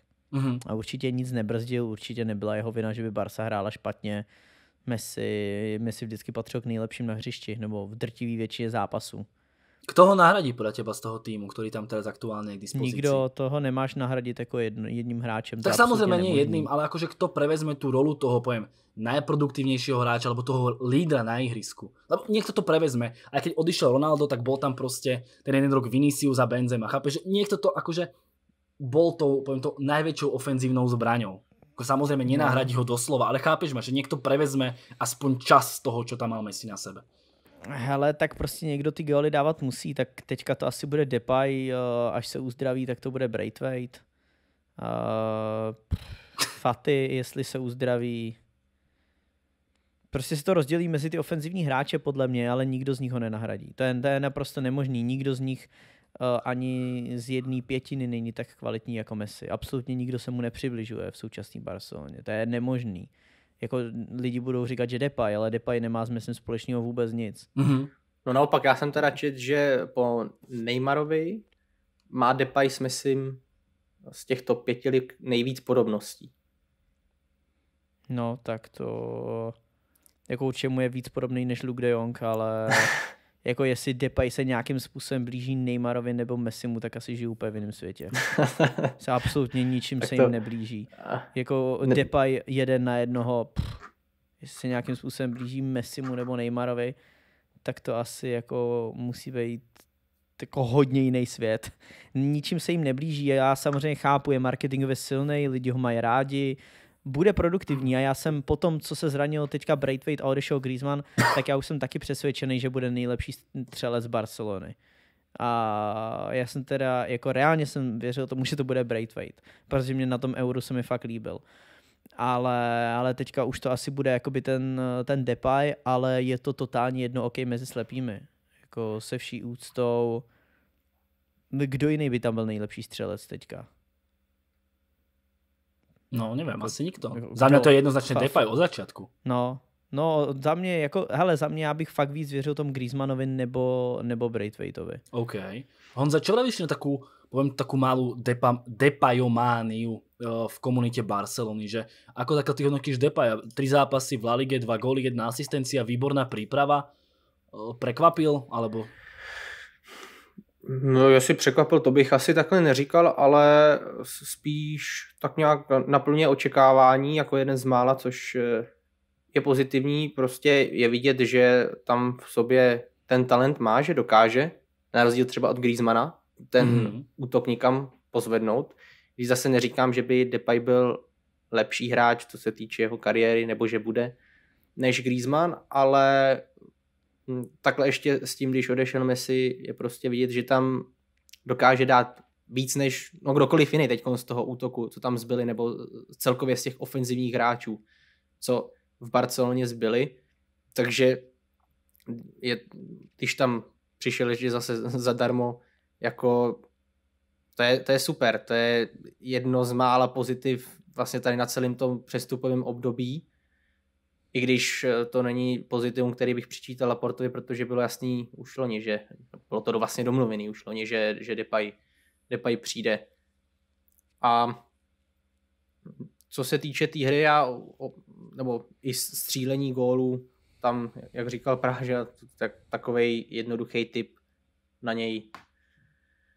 Je vidět, že jemu ta role bude svědčit. Asi by se mu dechalo hůř právě, kdyby tam byli Messi i, i třeba Griezmann nebo, nebo Suarez. Teď to prostě bude o něm a řekl bych, že on se s tím dokáže vyrovnat, nebo zatím to předváděl, že on se s tím tak nějak vyrovnat dokáže. Ale samozřejmě neočekávám, že převezme míč na půlce a budou z toho padat góly, protože Barcelona se sotva na tu půlku dostane. Až tak áno, to je zle. Až také to je zle. Tak proti Bayernu, proti Bayernu nevystřel na brádu, že jo. Zase nedělám si iluze, že by uh, Depay prostě furt je to hráč z Lyonu zadarmo, že by takovejhle hráč tam najednou... Bol rozdílový, to je to slovo? Um,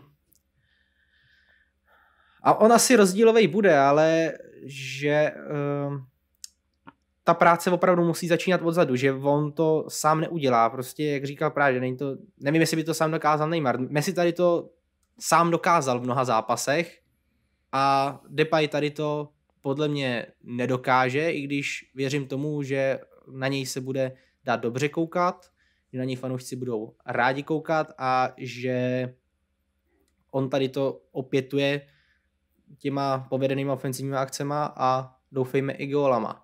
Ale nedovedu si představit, že by Depay posunul ten tým až tak, že by tady to, tady to stačilo. Tam asi se k tomu ještě dostaneme, těch problémů tam je tolik. Barcelona se fakt nejdřív musí dostat do toho útoku. Musí tam prvně dostat míč k tomu Depayovi, aby ten s tím mohl něco dělat. Mm-hmm, tak dostat k němu by mal například Frankie de Jong alebo Pedri. No, to jsou na mě velmi kvalitní fotbalisti. Jako jo, ale ukazuje se, že tam taky něco nefunguje v té záloze. I když i, i teď, když se podíváte na ten útok, tak to nevypadá špatně. Tam, je, tam jsou alternativy fakt jako dobrý. Když jsme se tady vysmáli De Jongovi, který mm-hmm. doufejme hrát nebude, nebo když bude hrát, tak to prostě bude, bude obrovská hvězda. okay. Ale i, i, i kdyby tady ten tam nebyl. Faty, pokud se vrátí, pokud naváže na to, kde předtím skončil, tak to bude okay. super. Jo, útok jako útok Faty, Depay, Aguero, to je jako dobrý útok. Velice dobrý útok. Řekl bych jeden z top 3 ve Španělsku určitě. Teď je právě, teď je právě otázkou. to asi jiný jeden z toho nejlepších útoků v Španělsku, ano, to je, to je velký kompliment. Ale to jsou teď ambice Barcelony. Dobře, dejme tomu top 2, dobře. Budu... Uh, tak Zdravím Saka, top 2. 2. Tak top 2, jo. A lepší než kdo? Jak lepší než kdo? No jako a kdo je ten, nebo jako... Koho preskočili? At- Atletico, Koho Barcelona a až potom Real. Ká, tak jako, že by přeskočili Benzemu, jo. Teď Benzema sám je lepší než tyhle tři dohromady. Já vím. proto, proto jsem řekl top 3, já jsem nechtěl říct třetí, třetí nejlepší, že jo. Jsem chtěl říct, aby to, aby to trochu jak zdělo. Ale věřím tomu, že Barcelona prostě má útočníky, na, ještě Demba vlastně tam je, má útočníky na to, když tam k tomu ještě přičteme, že by se třeba mohl rozhrát Coutinho, který by tam mohli udělat docela hukot. Já si myslím, že by jsme z nich mohli být příjemně překvapeni, ale podle mě to teď stojí na tom, aby Kuman konečně udělal něco s obranou a aby, ten, aby ta záloha nebyla tak mdlá, jako působí teďkon. Já právě moc nechápu, kde, kde je tam ten zádrhel, protože, jak říkal uh, Vilko De Jonga Pedri. Něco tam je nastavený takticky špatně, protože ta záloha zatím, co předváděl tady v tu sezónu, tak, tak to není dobrý. Barcelona právě v defenzivě ani v záloze není schopná dominovat a tím pádem na to bude doplácet i ten útok, jestli tady to bude předvádět dál. Uh-huh, uh-huh. Honza, ty si len načrtol už toho trošku Fatiho, to bola taká ďalšia moja odrážka, čo tu mám. Uh, dostal tú legendárnu desiatku, uh, Bradway teda nedostal, veľká škoda. Uh, nie je to na neho trochu veľa, že on má byť v 18, dá sa povedať, lídrom týmu? Že väčšinou vidíme, že proste hráč vyrastie vedľa nejakých veľkých hráčov a reálne teraz už Fatih má 18 rokov a možno, že už aj on je teraz tou najväčšou hviezdou týmu. Že zvládne niečo takéto? Po tom no. zranení ešte? Hele, eh, já bych mu tu desítku třeba nedal, ale mm-hmm. zase z druhé strany, když to vezmu, když se ne. podíváte, jaký desítky měla Barcelona v 90. letech, tak ty je oproti tomu ještě zlaťák.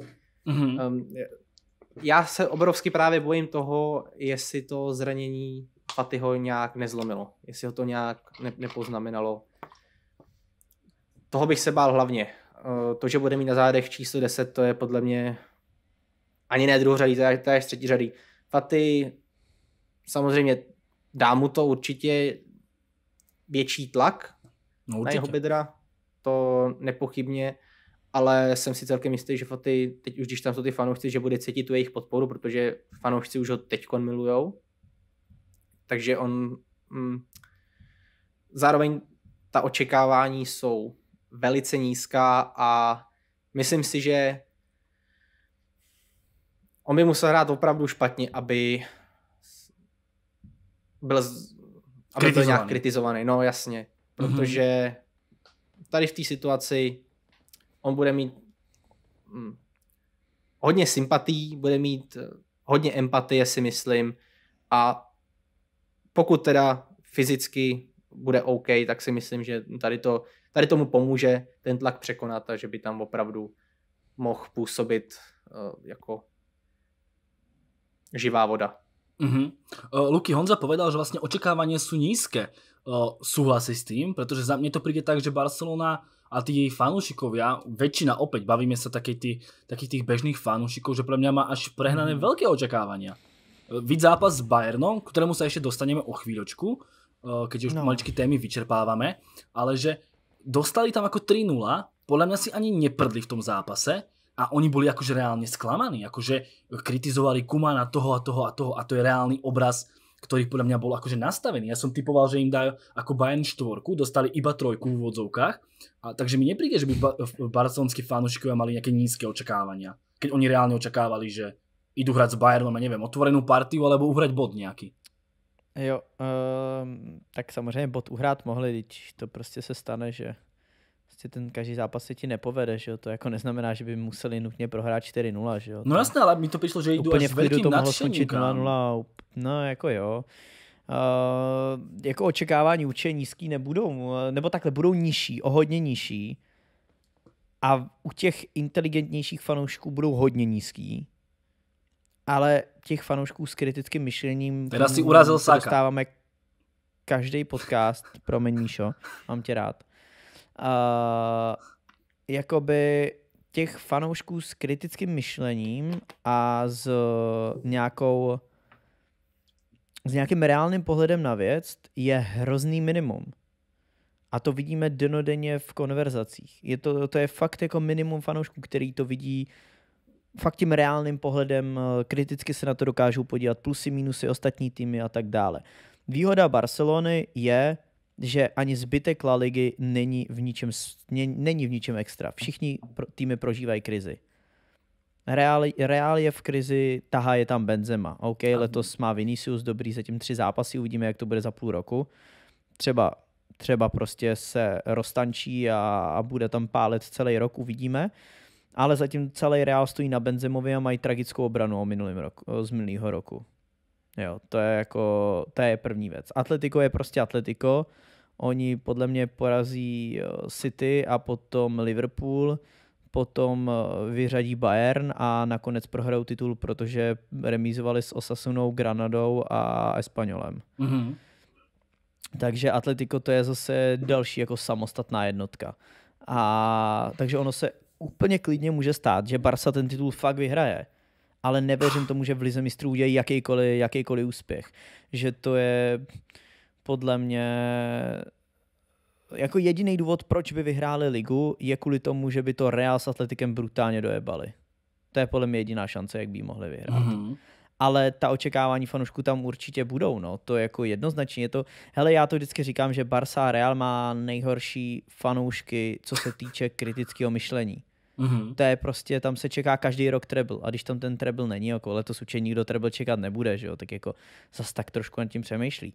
Ale bude, bude a, a dobře, možná i letošní sezóny bude taková, jestli řekneš OK, ale příští rok, jestli přijde někdo dobrý a posilní se to nějak, tak už to bude zase ambice, že jdem vyhrát treble. No, tak, přijde, tak prostě vždycky. přijde Haaland přeci, taky Laporta říkal. No, přijde Haaland. Nebo Pogba. Honza, tebe to tak přijde, že fakt jsou ty očekávání nízké? No já Alebo bych se tady dovolil nesou, nesouhlasit okay. s Prážou. E, neříkám teda, nemluvím o té větě, kdy říkal, že fanoušci Barcelony a Realu jsou nejhorší, ale nemám z toho takový pocit, že by teďkon bylo nějaký minimum těch inteligentních fanoušků nebo těch fanoušků, kteří by tady měli to kritické myšlení, nebo kteří by tady tu sezónu vnímali spíš negativně, neměli od ní žádné očekávání. Já spíš mám ten opačný pocit, že už jsou tak nějak to fakt nepřišlo jako blesk z čistého nebe a řekl bych, že naopak většina fanoušků je s tím tak nějak smířená. Teď je právě jenom otázkou, jak dlouho tady ten přerod bude trvat a co všechno ještě za nenaplněný sliby uslyšíme. Uh, možnosti Barcelony jsou tam. Ten kádr, jak už jsem říkal, v případě toho útoku, no to nevypadá špatně, ale on tam velko asi budím něco ke Kumanovi, tak to nebudu rozebírat. Ale mně přijde, že ten tým se prostě tak, takhle nepodaří nějak slepit, udělat tam nějakou týmovou chemii, protože se to nepodařilo do teďka, tak proč by teď mělo? Myslím hmm. si, mhm. že to spíš nepřijde, ale ten materiál tam furt je tak nějak slušný že by Barcelona aspoň mohla předvádět dobrý fotbal a doufejme držet se mm, dostatečně dlouhou dobu, aspoň jako v závěsu, nebo v nějakým boji o titul, řekněme, a potom prostě povede se pár klíčových zápasů a může, to, může z toho být, být překvapivý pořád titul. Mm-hmm. A teď jsem ale teď taky úplně zapomněl, jak zněla otázka. Ta, ta původní ještě, co, to boli tie očakávania tej Barcelony, lebo ty si povedal, že vlastne boli, boli nízke. Ja som sa to pýtal Prážu, či podľa teba sú nízke očakávania. A Práža povedal, že práve jemu prídu, že sú vysoké očakávania a potom si zareagoval opäť ty. Jo, no takže tak. Očekávání bych řekl, že, že jsou všeobecně nízký u drtivé většiny kulez, bych se nemá říct, že fakt se letos nečeká, že by byla nějaká trofej, spíš hm, to je hlavně o tom, aby aspoň nějaký pozitiva tady z toho kádru vzešly a na těch se dalo potom stavět, protože tady v tom Laporta tak nějak se říct, začal dobře, myslím si, že kdyby vyloženě za tu každou cenu, jak on, on říkal, chtěl mi si ho udržet, tak ho udrží. Třeba Frankie de Jong i, i Pedri by byli prodejní hráči. Ale prodat Pedriho a de Jonga by bylo opravdu by znamenalo opravdu zdát se nějaký budoucnosti, kterou Barcelona aspoň teoreticky tady v tu chvíli může mít.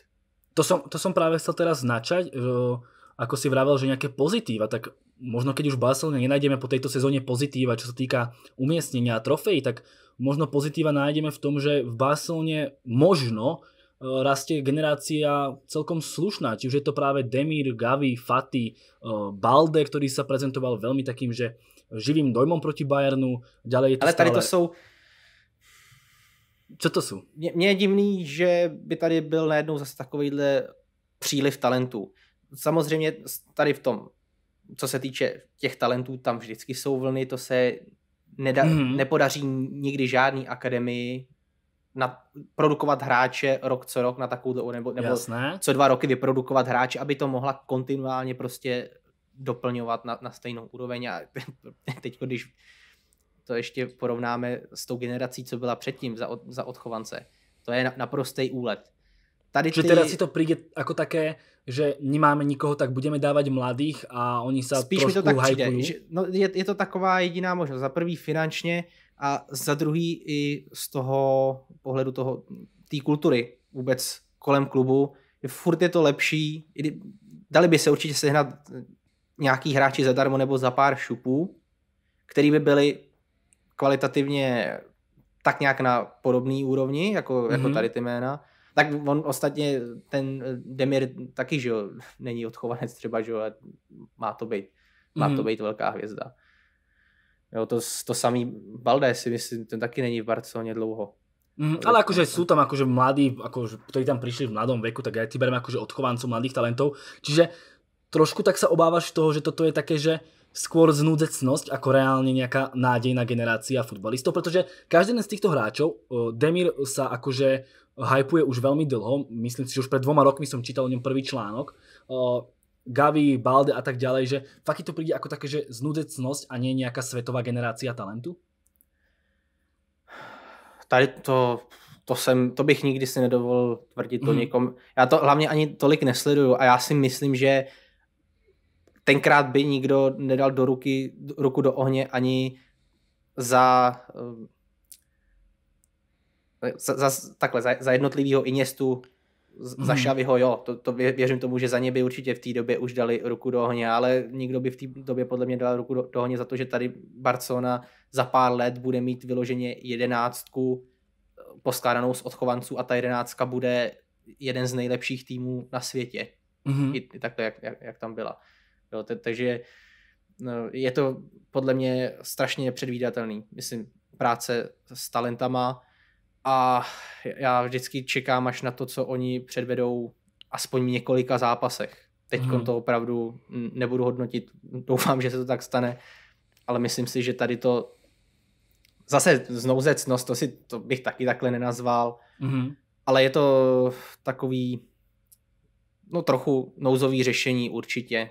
Prostě tady tím se nic moc nepokazí, když tam dáte malý hráče. Naopak by bylo špatný, kdyby se Barcelona snažila to hrát s pianičema a to podobně, že jo.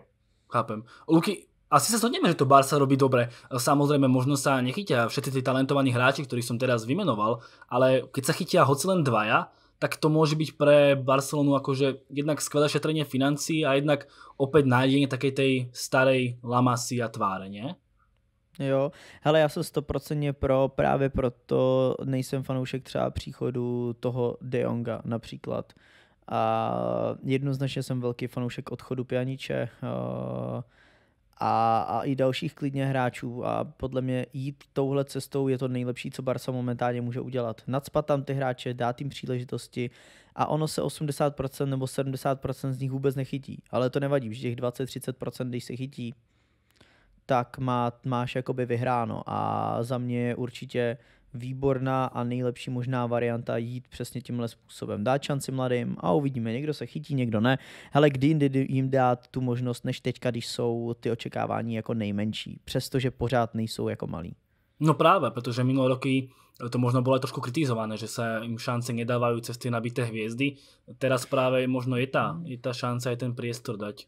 Pretože no, za mňa... Si asi, No, no, jenom jsem chtěl říct, že už si všimli, že nemusí hráčovi být 30 plus, aby měl dobrou úspěšnost přihrávek. No, no, no, a že toto nemusí lepiť Boatengom na hostovanie, ale Mhm. sa to môže lepiť, ja neviem, práve tým e, Demirom, Baldem, alebo to je jedno akým hráčom, ktorý je v akadémii. Čiže ja som v tomto taký, že trošku pozitívny. E, Tiež neočakám, že sa chytia všetci. Samozrejme, niekedy z motiky vystrelí. Videli sme to pre United, Class 92, 6 futbalistov z akadémie v základe, ale je to akože veľmi náročné. Ale hovorím, keby sa chytili dvaja, tak bolo by to pre Barsu akože veľmi, veľmi, veľmi dobre.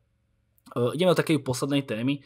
Uh, Kuman versus Laporta. Uh, vymen- vymenali si tam behom posledných týždňov nejaké, nejaké odkazy. Teraz ospravedlňte moju uh, češtinu, ale povedal vlastne Kuman v jednom rozhovore, že prezident je prezident, to on dělá rozhodnutí. Řekl jsem mu, že pokud nejsem dostatečně dobrý na to trénovat tohle mužstvo, tak ať mi to sdělí a my můžeme tento příběh ukončit. Řekl jsem mu, pokud mě nechcete, tak to napravte. Klidně to udělejte, ale nenechávajte mě v této nejistote, že se budete dívat po ďalších možnostech.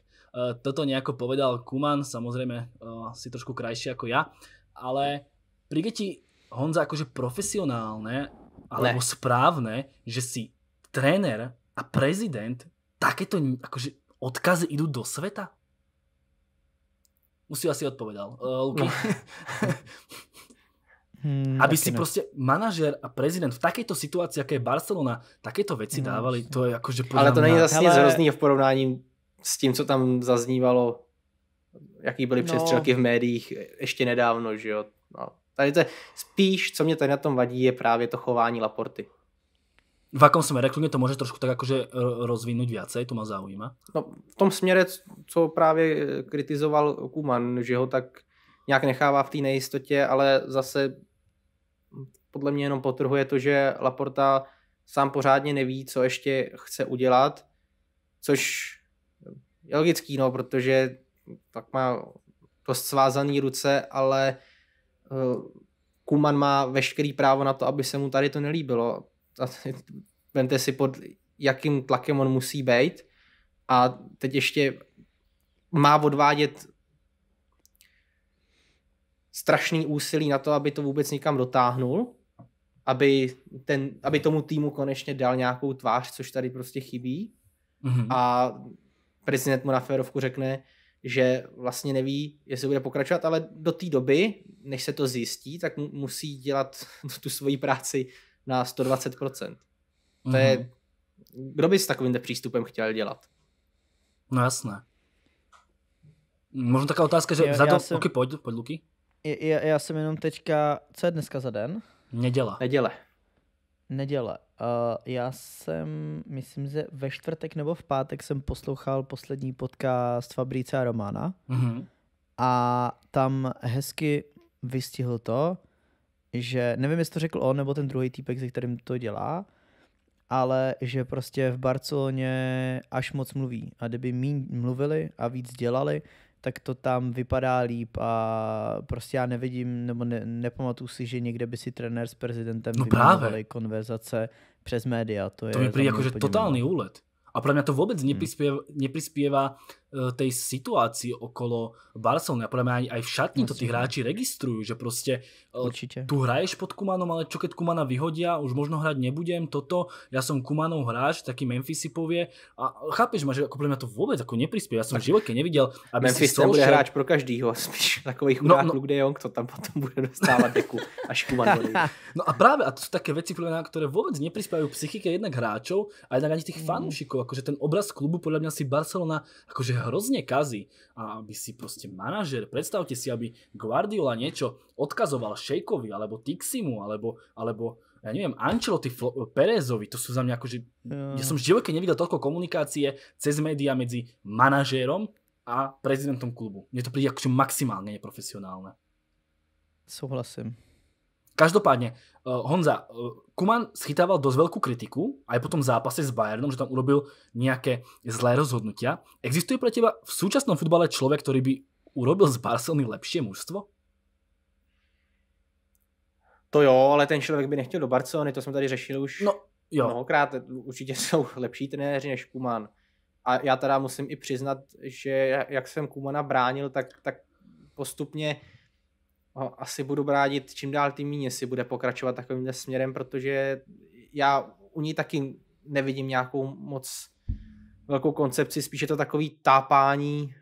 Co podle těba robí zle?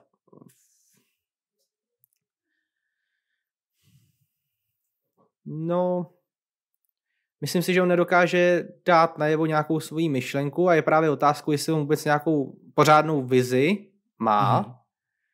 a nebo jestli právě tu vizi hledá takhle nějak za běhu, protože to jsme tady řešili taky na příkladu těch mladých hráčů, u něj vidíte jednou, že s nimi dokáže pracovat suprově, po druhý pak s tím pužem, jak te, teď už to fakt vypadalo, že se to zlomí.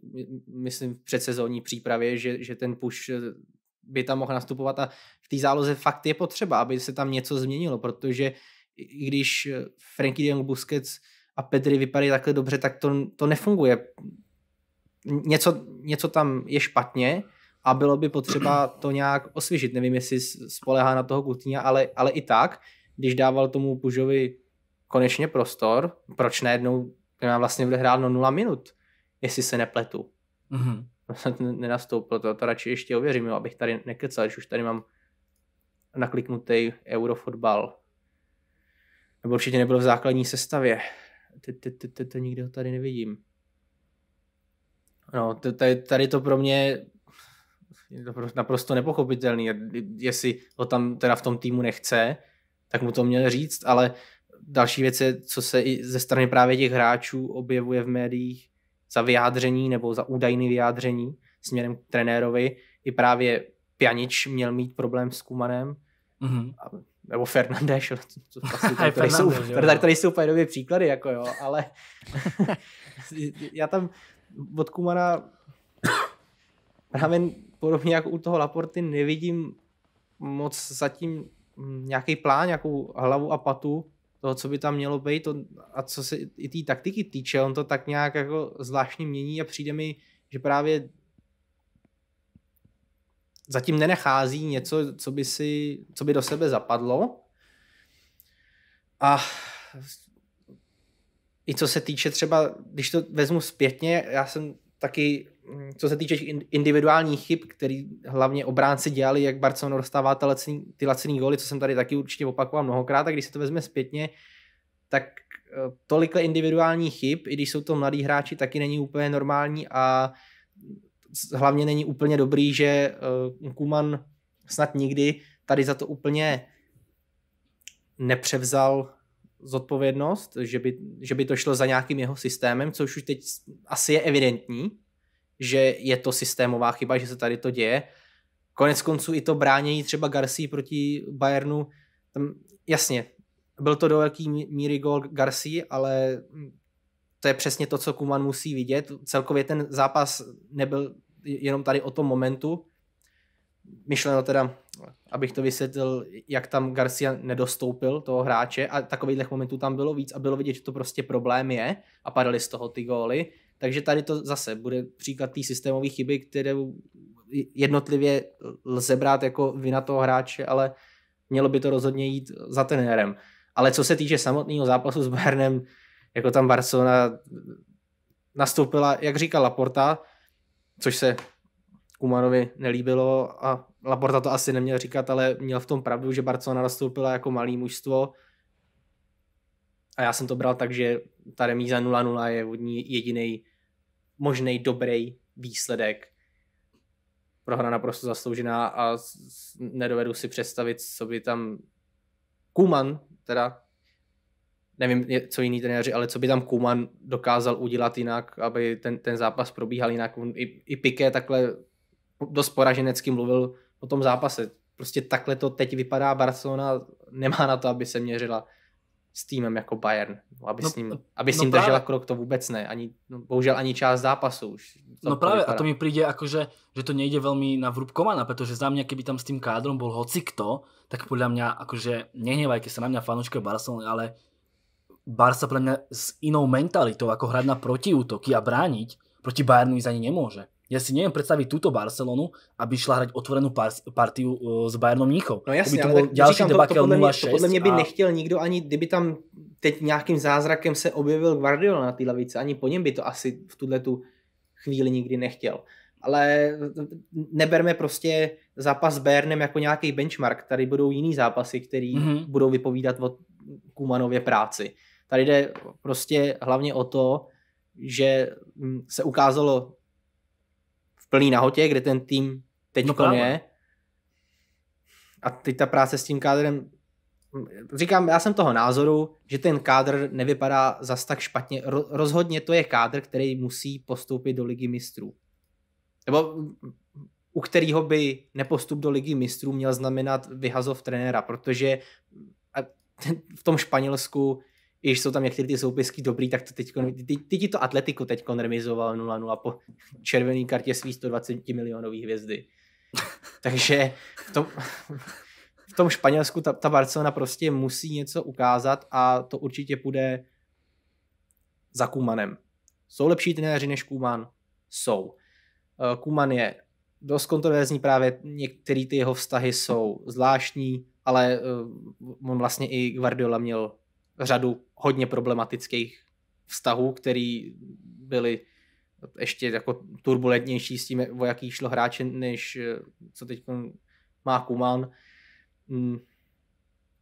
Kumanovi pořád tak nějak jako věřím, že, že ví, co dělá, ale zatím to podle mě nedokazuje a jako já chápu, že s ním je vedení nespokojený, ale abych se vrátil tam ještě k té předchozí otázce, samozřejmě není dobře, že by se to mělo dávat takovýmhle způsobem najevo. Mm-hmm. Luky, čo ty a Kuman, že ja som čítal po zápase akože veľa komentárov, že Kuman urobil z Barcelony slabé mužstvo. To mi príde akože totálny, akože no proste blbý komentár a blbý názor, pretože ja by som fakt v tomto smere nešiel za Kumanom, že ako to, ako to vnímaš ty, pretože za mňa, keď som sa pozrel na tú súpisku, na tú zostavu, lavičku, tak som si povedal, dáva zmysel proti tomuto Bayernu proste brániť, hrať na protiútoky. Tak to aj bolo. Že dá sa za to Kuman kritizovať, za ten prístup uh, k tomu zápasu s Bayernom a tiež za to, že on urobil z Barsy slabé mužstvo? Má podľa teba Hele. táto Barsa vôbec šancu konkurovať Bayernu? Ale tak tady z toho jsem vycházel, jak jsem předtím mluvil o tom kritickým myšlením. Uh, to je za mě jako úplně jak mimo. To, to nejde na vrub Kumana vůbec tohle.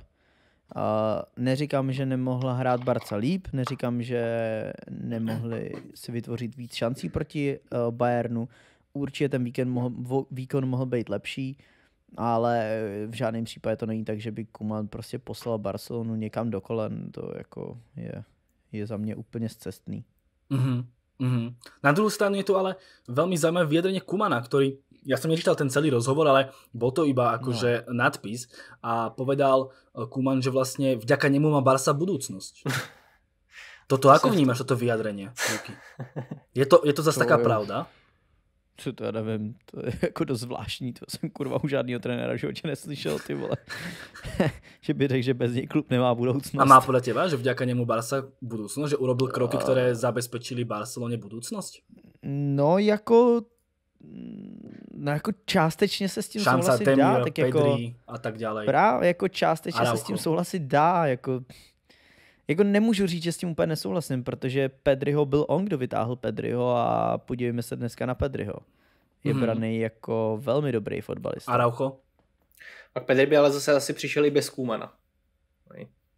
Otázka, no, to asi jo, ale jestli by hrál, dostal bych tolik prostoru a tak dále. Jako, hele, Kuman byl ten, kdo ho vytáhl. Jako samozřejmě je to možná výborný fotbalista, vytáhl by ho kdokoliv jiný, ale byl to Kuman, kdo ho jako vytáhl. No.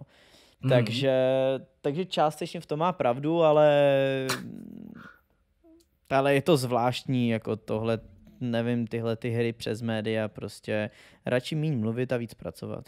Mm-hmm. Honza, ako sa pozeráš na toto zaujímavé rozhodnutie, uh, vyjadrenie, pardon, že prostě toto povie manažer klubu, že vďaka nemu to je, že má Barsa budúcnosť a majú vôbec Barsa?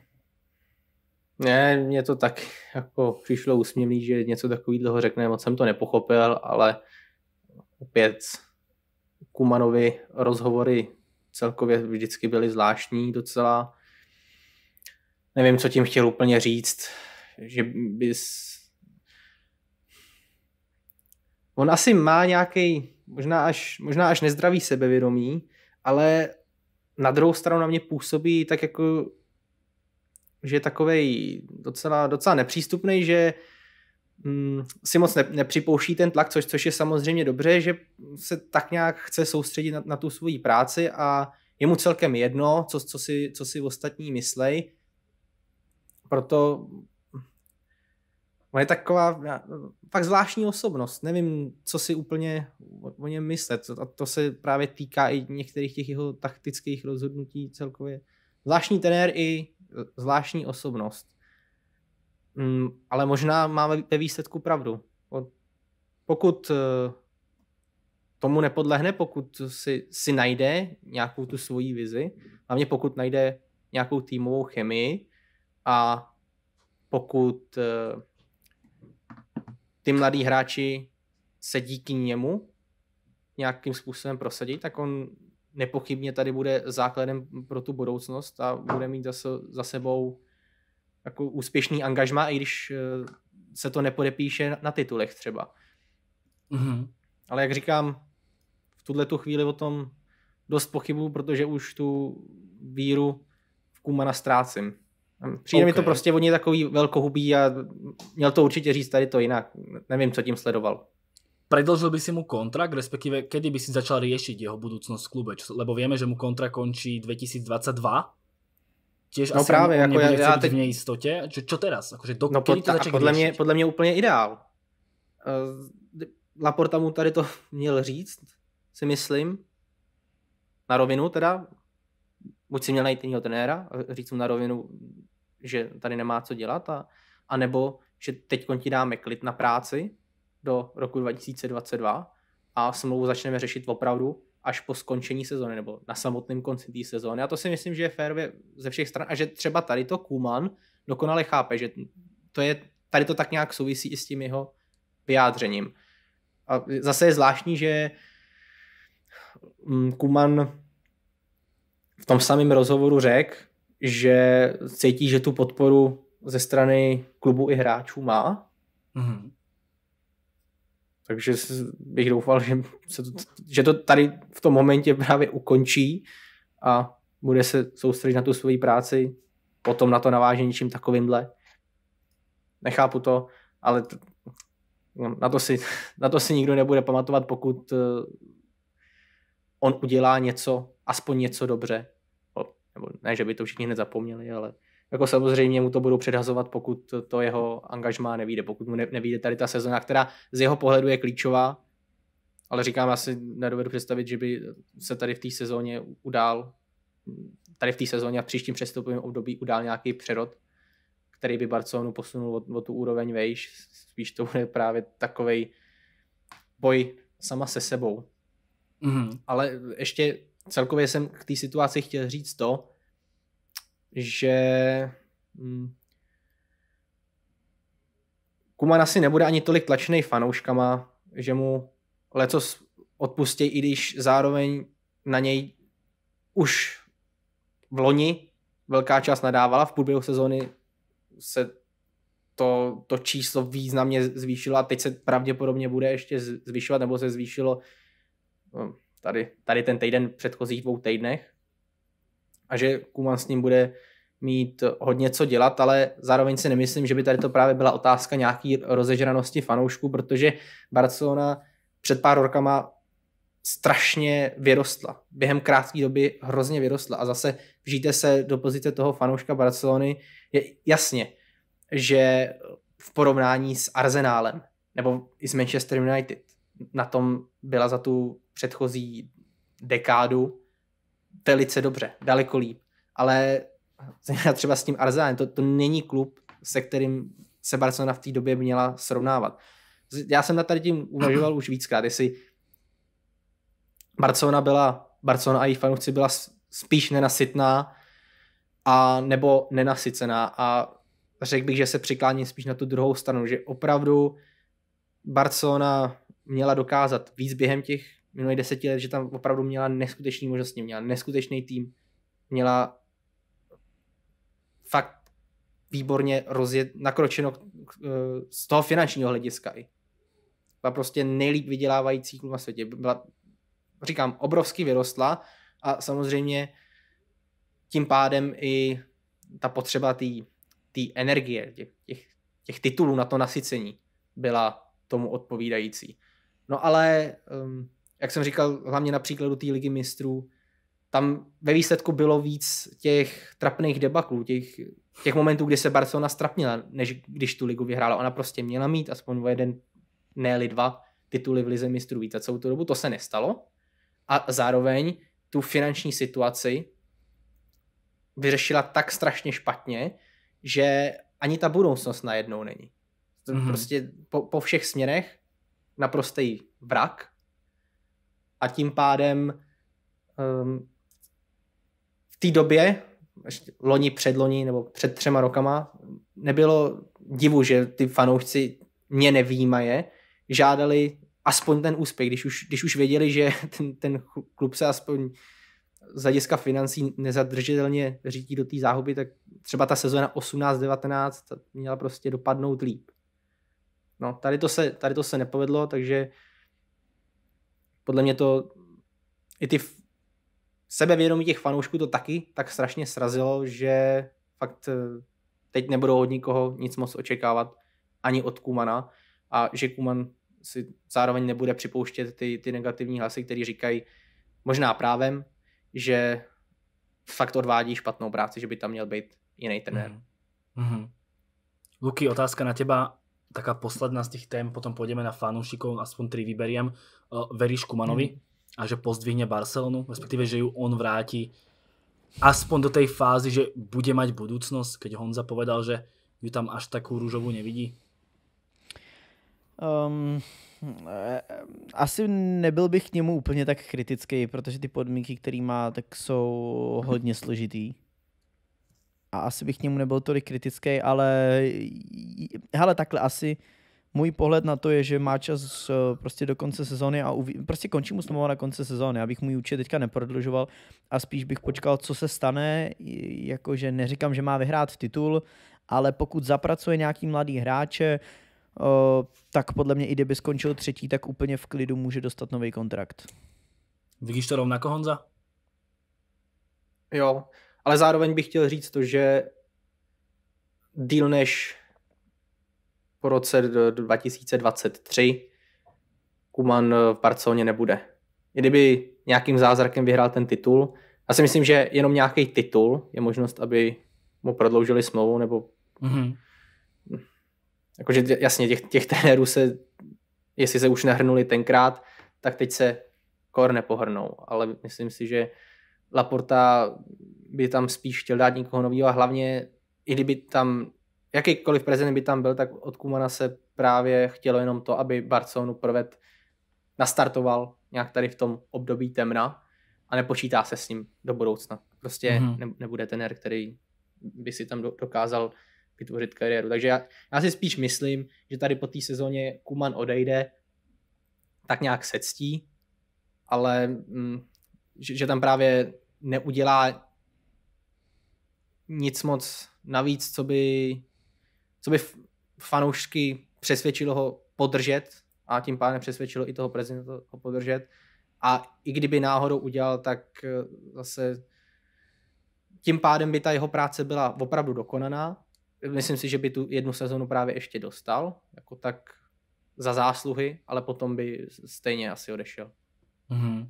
Tak jeden manažer, ktorý má rád veľké výzvy, je voľný a keby sa tá finančná situácia zastabilizovala a bola ako tak priateľná, tak myslím, že tento chlap by tú prácu aj vzal. Otázka, či by ho chcela Barcelona. A myslím teda Antonia Conteho. Každopádne, poďme na otázky, uvidíme čo s Kumanom. Ja osobne, ak mám pridať svoj tip, ja si myslím, že sezóna 2022 bude jeho poslednou v Barcelone. Kto vie, či neskončí predčasne. Uvidíme. Jakože tady po té sezóně skončí. Jo, určitě. Ale a myslíte, a myslíte, no, no to, to, to jsem se právě ještě zeptat, jestli si myslíte, že by mělo smysl Kumana tady potom všem vylejvat nikdy Vůbec.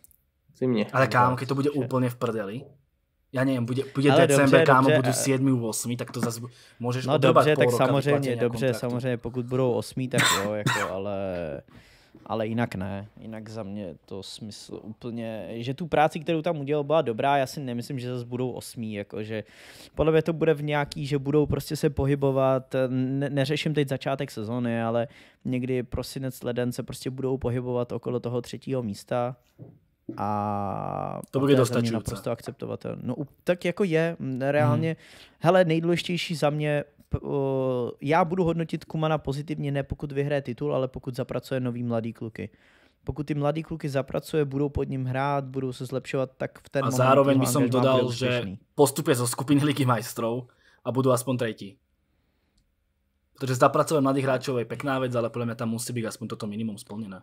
Jako samozřejmě Ligu mistrů za mě vůbec neřeším, to je podle mě úplně Kámo, no. skupinu musí urobiť, to by byla blamáška. No dobře, tak skupinu, jo. Koho mají ve skupině? Ještě Benfiku. A Bayern, Benfica, Bayern. A Kiev. A Kiev, no. Jo, ok, no tak to jo. Tak jako tady, tady to musí udělat, no. no. I, I když no, je jasný, že to nikam nedotáhnou, tak tady to musí udělat, to by samozřejmě... Jo.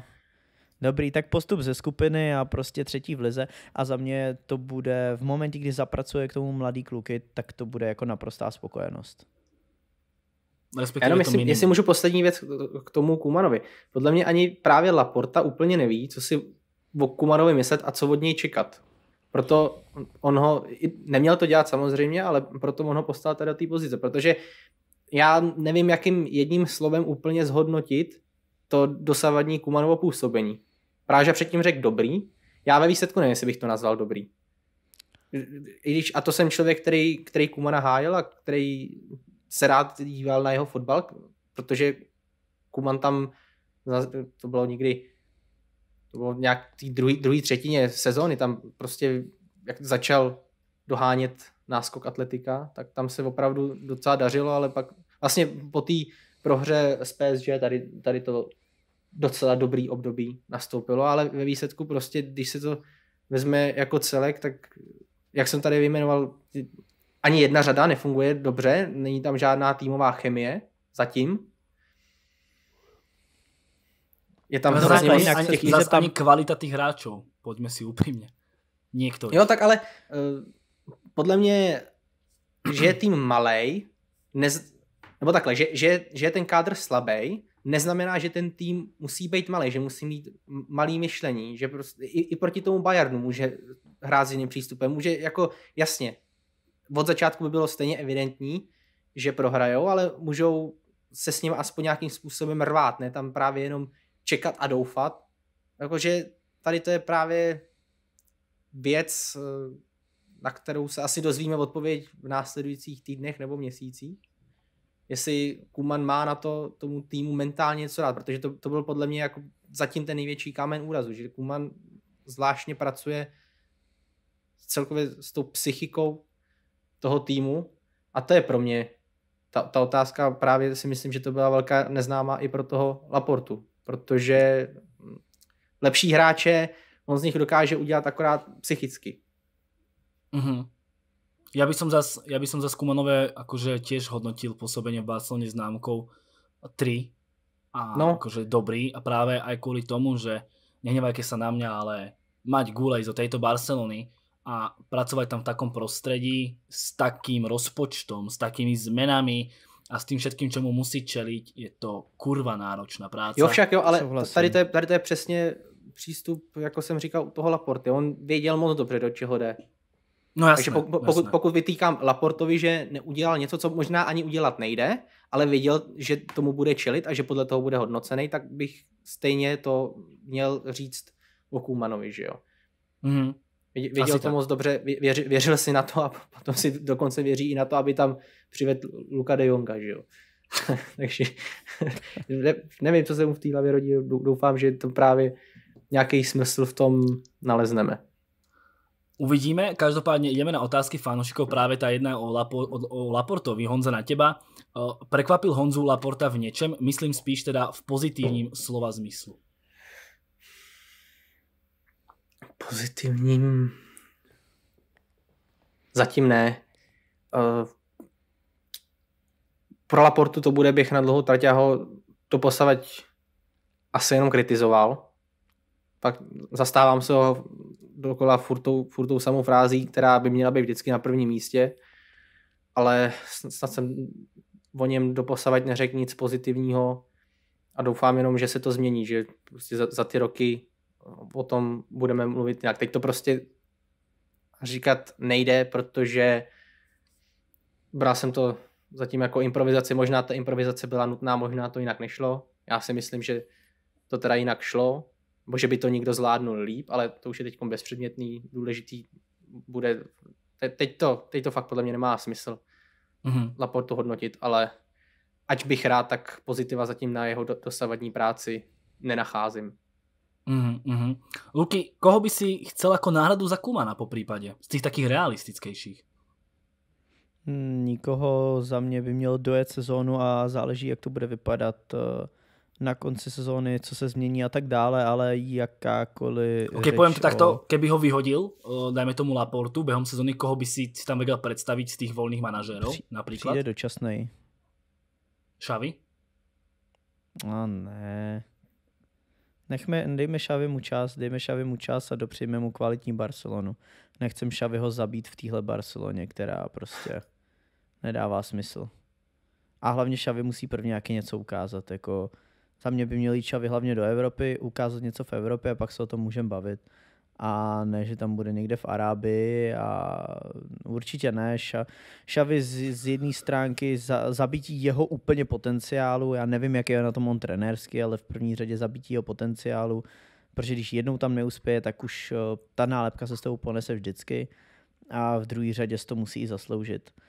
A já osobně prostě, já tam nemám vůbec žádnou variantu. Pro mě prostě Kuman do konce sezóny a na konci sezóny buď se mu prodlouží smlouva, pokud bude předvádět, eh, nebo pokud budou s ním spokojený, anebo se bude hledat nový trenér v závěru příští sezóny a od, le, od léta začne nový. Mm-hmm. Honza, čo hovoríš na to, že sa s Barcelonou už teraz spája Dani Olmo? Bol by to dobrý nápad ho kúpiť? To se mi teda zrovna hodně líbil. Mm-hmm a nevidím, proč, kdyby na něj byly peníze, proč ne? Mě to tam může poznést, ale musel by tím pádem asi odejít Coutinho, jinak nevím, jak by mohl dostávat Kdyby si ho viděl v zostave. Protože on je ofenzivní záložník. No, bra, on, on, je, on, je takový, no, no, on je přesně jako Coutinho, on je takový spíš centrálnější ofenzivní záložník. Že? Mm-hmm. A to, to je ten problém, takže on no právě, se, tam, jako, se, tam nějak moc, se tam nějak moc nehodí zase, jestli Bůh ví, co bude chtít Kuman hrát, že jo? Možná by tam mm-hmm. pro něj prostor byl. Mm-hmm. Kdyby chtěl hrát hm. No, 4, no, kdyby, chtěl hrát, kdyby chtěl hrát třeba 4-2-3-1, tak by tam pro něj docela dobrý místo bylo. A čo Pedri? Nevím. Co? A čo Pedri? Že by byl Olmo Pedri jakože spolu? Asi, asi by se s ním přetahoval tím pádem o minuty, ale tak ta, zrovna Olmo to by ne, nebyla by to špatná konkurence a, a není možný, aby zase Pedri hrál takovouhle porci, co on nahrál za ten minulý rok, že jo. No, je potřeba prostě Pedriho někým prostřídat. Mm, ale za na druhou stranu asi uznáme, alebo uznáš, že Barcelona má jiné problémy jako právě tento post. Či myslíš, že nie? Že by, bolo by to fakt kľúčové priniesť Olma? Já zase nedokážu úplně posoudit Olmovy schopnosti v mezihře nebo z, nějakého, z nějaký pomoci vyvážení míče z obrany. Mm-hmm. To, mhm. to podle mě on ani dosavať neměl v popisu práce, ani v klubu, ani v repre. Třeba by mu to šlo, pokud by mu to nešlo, tak by to bylo blbý samozřejmě, protože říkám, tam Barcelona potřebuje spojit hlavně hru na svojí polovině hřiště. Potom ten mm. útok si myslím, že je takový nejlíp poskládatelný, aby to tam tak nějak sedělo. Ale Barcelona potřebuje vyloženě někoho, aspoň dva, tři hráče, na které se bude moct spolehnout plně v tom, že tady tu, tu práci s míčem vykoná. A to možná by asi Olmo úplně nebyl, že? protože ten, ten je zase spíš dominantní na soupeřově polovině hřiště. Mm-hmm. Mm-hmm. Ale no, ani by to, jasně, tak neměl by být Olmo ten target číslo jedna, ale umím si představit třeba zase z hlediska financí, že by se za nějaký rozumný peníz prodal Coutinho a právě jako náhrada přišel Olmo. S tím bych byl úplně v pohodě. Mm-hmm. Luky, čo ty, Olmo a Barcelona? Určitě ne, je úplně zbytečný. Dá se tam sehnat mnohem levnější hráč, Olmo bude předražený, bude stát 70-80 milionů. Podle mě 50. A, no dobře, i za, pare, za mě zbytečně drahý hráč na tom místě je Pedri a souhlasím, že Pedri potřebuje konkurenci, ale za mě se dá na tu lavičku sehnat hráč za 25-30 milionů, který bude dostatečně kvalitní. Olmo má zbytečně velký hype. Uh... Jako pokud by byl samozřejmě za tuhle cenu, tak to, to, to, máte, to máte pravdu, to by bylo nesmysl. Be, hmm, be... Za, za mě ne, za mě levnější varianta prostě. Je, je, je určitě ne, určitě ne Olma. A po, pokud se vůbec pokusí prodat Kutíňa, eh, teda podaří, ne pokusí. Mm-hmm. Mm-hmm. Pokud by se podařilo prodat Kutíňa, tak za tu cenu, za kterou prodají Kutíňa, si dovedu představit, aby přivedli náhradu.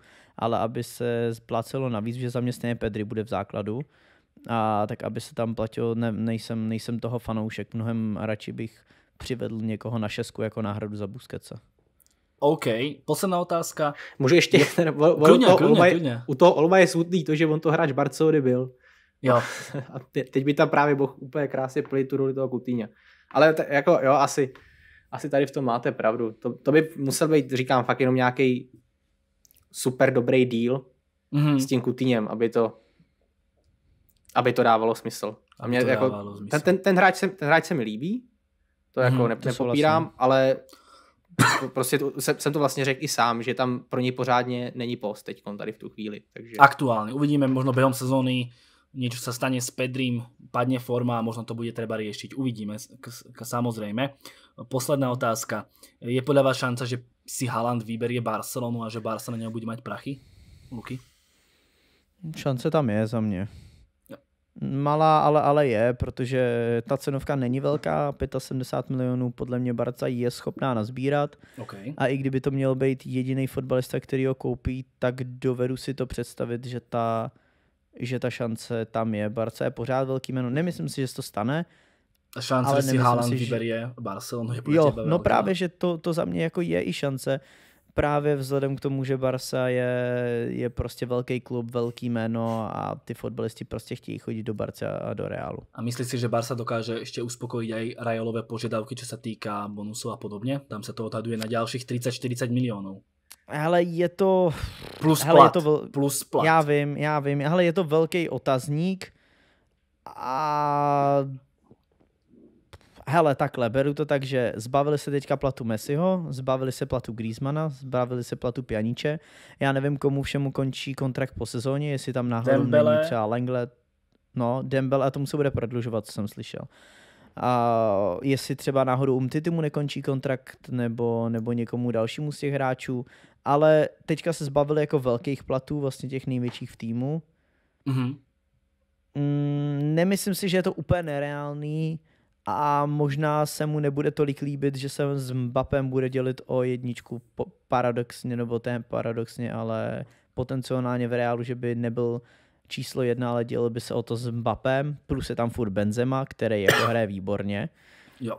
A zatímco v Barceloně měl naprosto dominantní pozici nejenom v základu, ale i v tom, že by byl suverénně největší superstar a tak dále a klidně by se mu to mohlo líbit. Ale dovedu si tu variantu představit, přestože teď je to těžko představitelný, ale dovedu si tu variantu představit.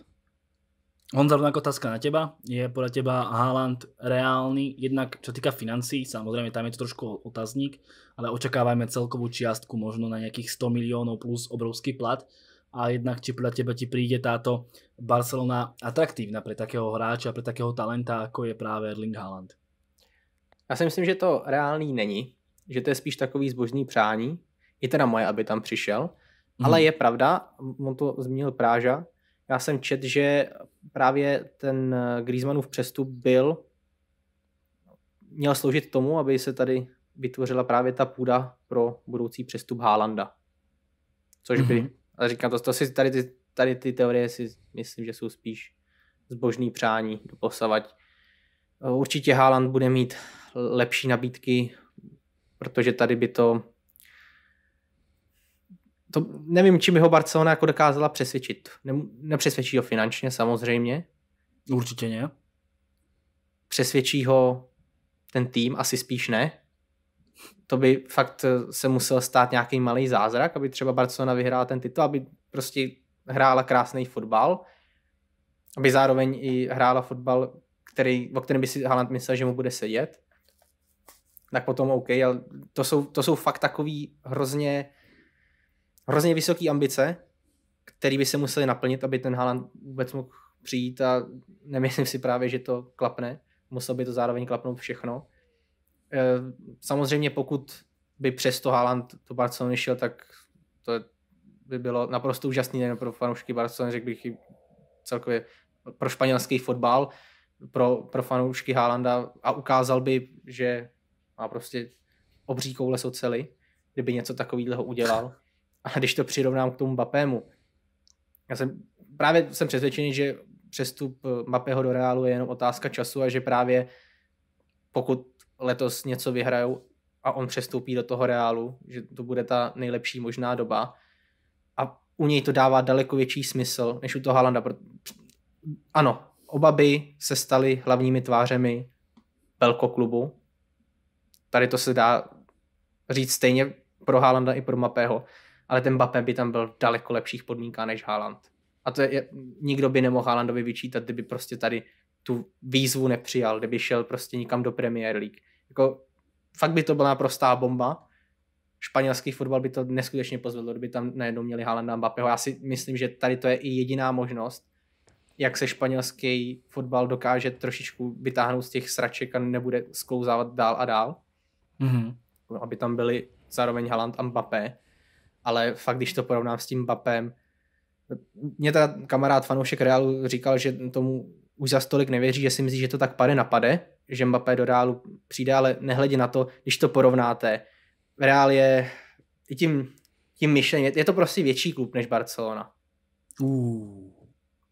To, tak, jako, okay. no tak z historického, z historického pohledu to, to, to, to jsou fakta, jako nějaký počty titulů, nebo to, to, jak, to, jak je ten klub vedený, to, jakou měl, jakou měl historii, to je něco jiného než Barcelona a bylo to podle mě vidět na, na těch posledních letech, těch posledních deseti letech, i když ten Real uh, hrál tak nějak, aspoň co se týče toho Španělska, druhý housle a měl taky velký finanční problémy, tak se s tím vypořádal daleko líp než Barcelona. Prostě Barcelona kdykoliv, a to, to je taky, to není jenom teď, to bylo historicky, vždycky, když se dostala do, do nějaký krize, tak to, to bylo najednou takhle dolů.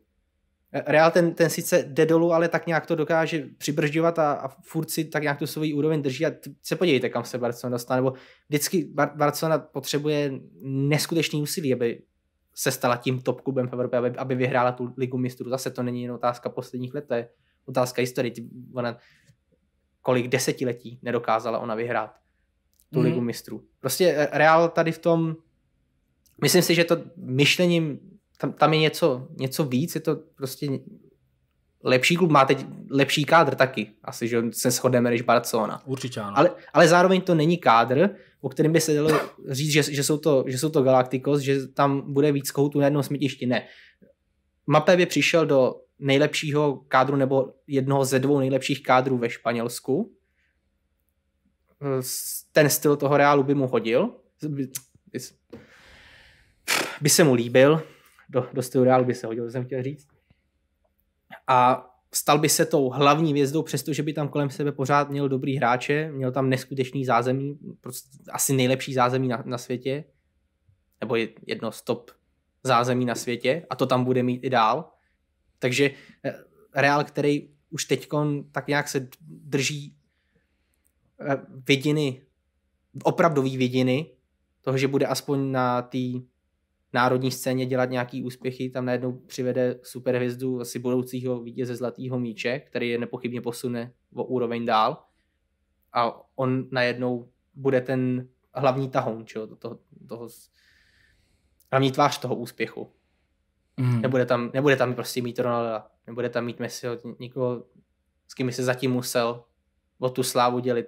Bude tam zároveň teda mít Azarda, ale ten, ten už ten tam asi jako reálně konkurenci tady v tom udělá, i když Hazard je velkým množstvím fanoušků vnímaný docela dost pozitivně. Až mě, až mě to překvapilo, jak pozitivně je tam Hazard vnímaný. Mm-hmm, mm-hmm. Takže prostě, já, když, já s tím souhlasím, když to srovnám, Alan úplně, úplně jiná situace než Bape.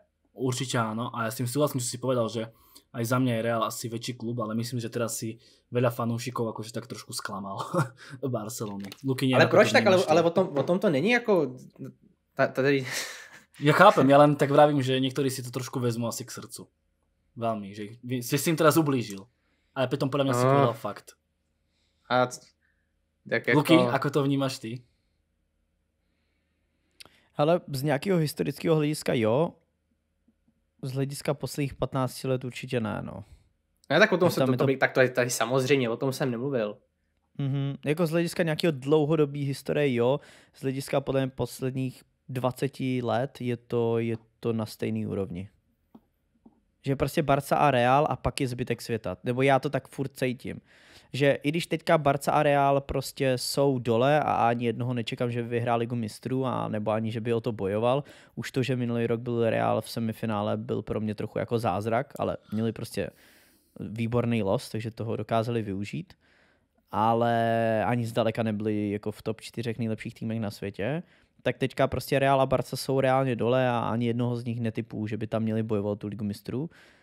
Ale furt to beru tak, že víš, že furt se bavíme o tom, že Mbappé odchází z Paříže, která je dost možná momentálně jedna z nejlepších na světě, top 3, dejme tomu.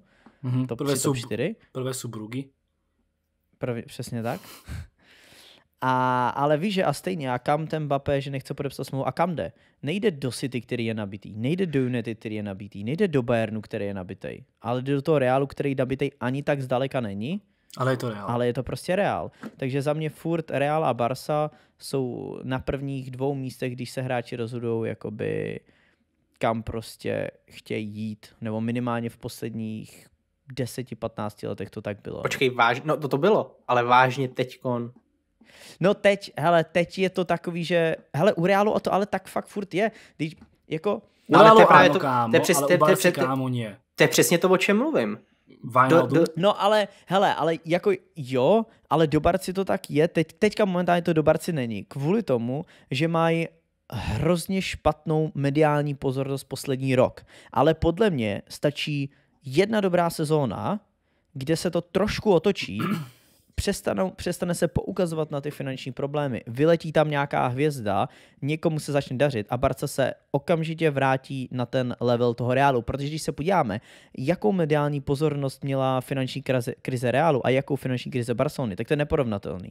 O Ale taky ta to finanční krize. Barcelony byla větší.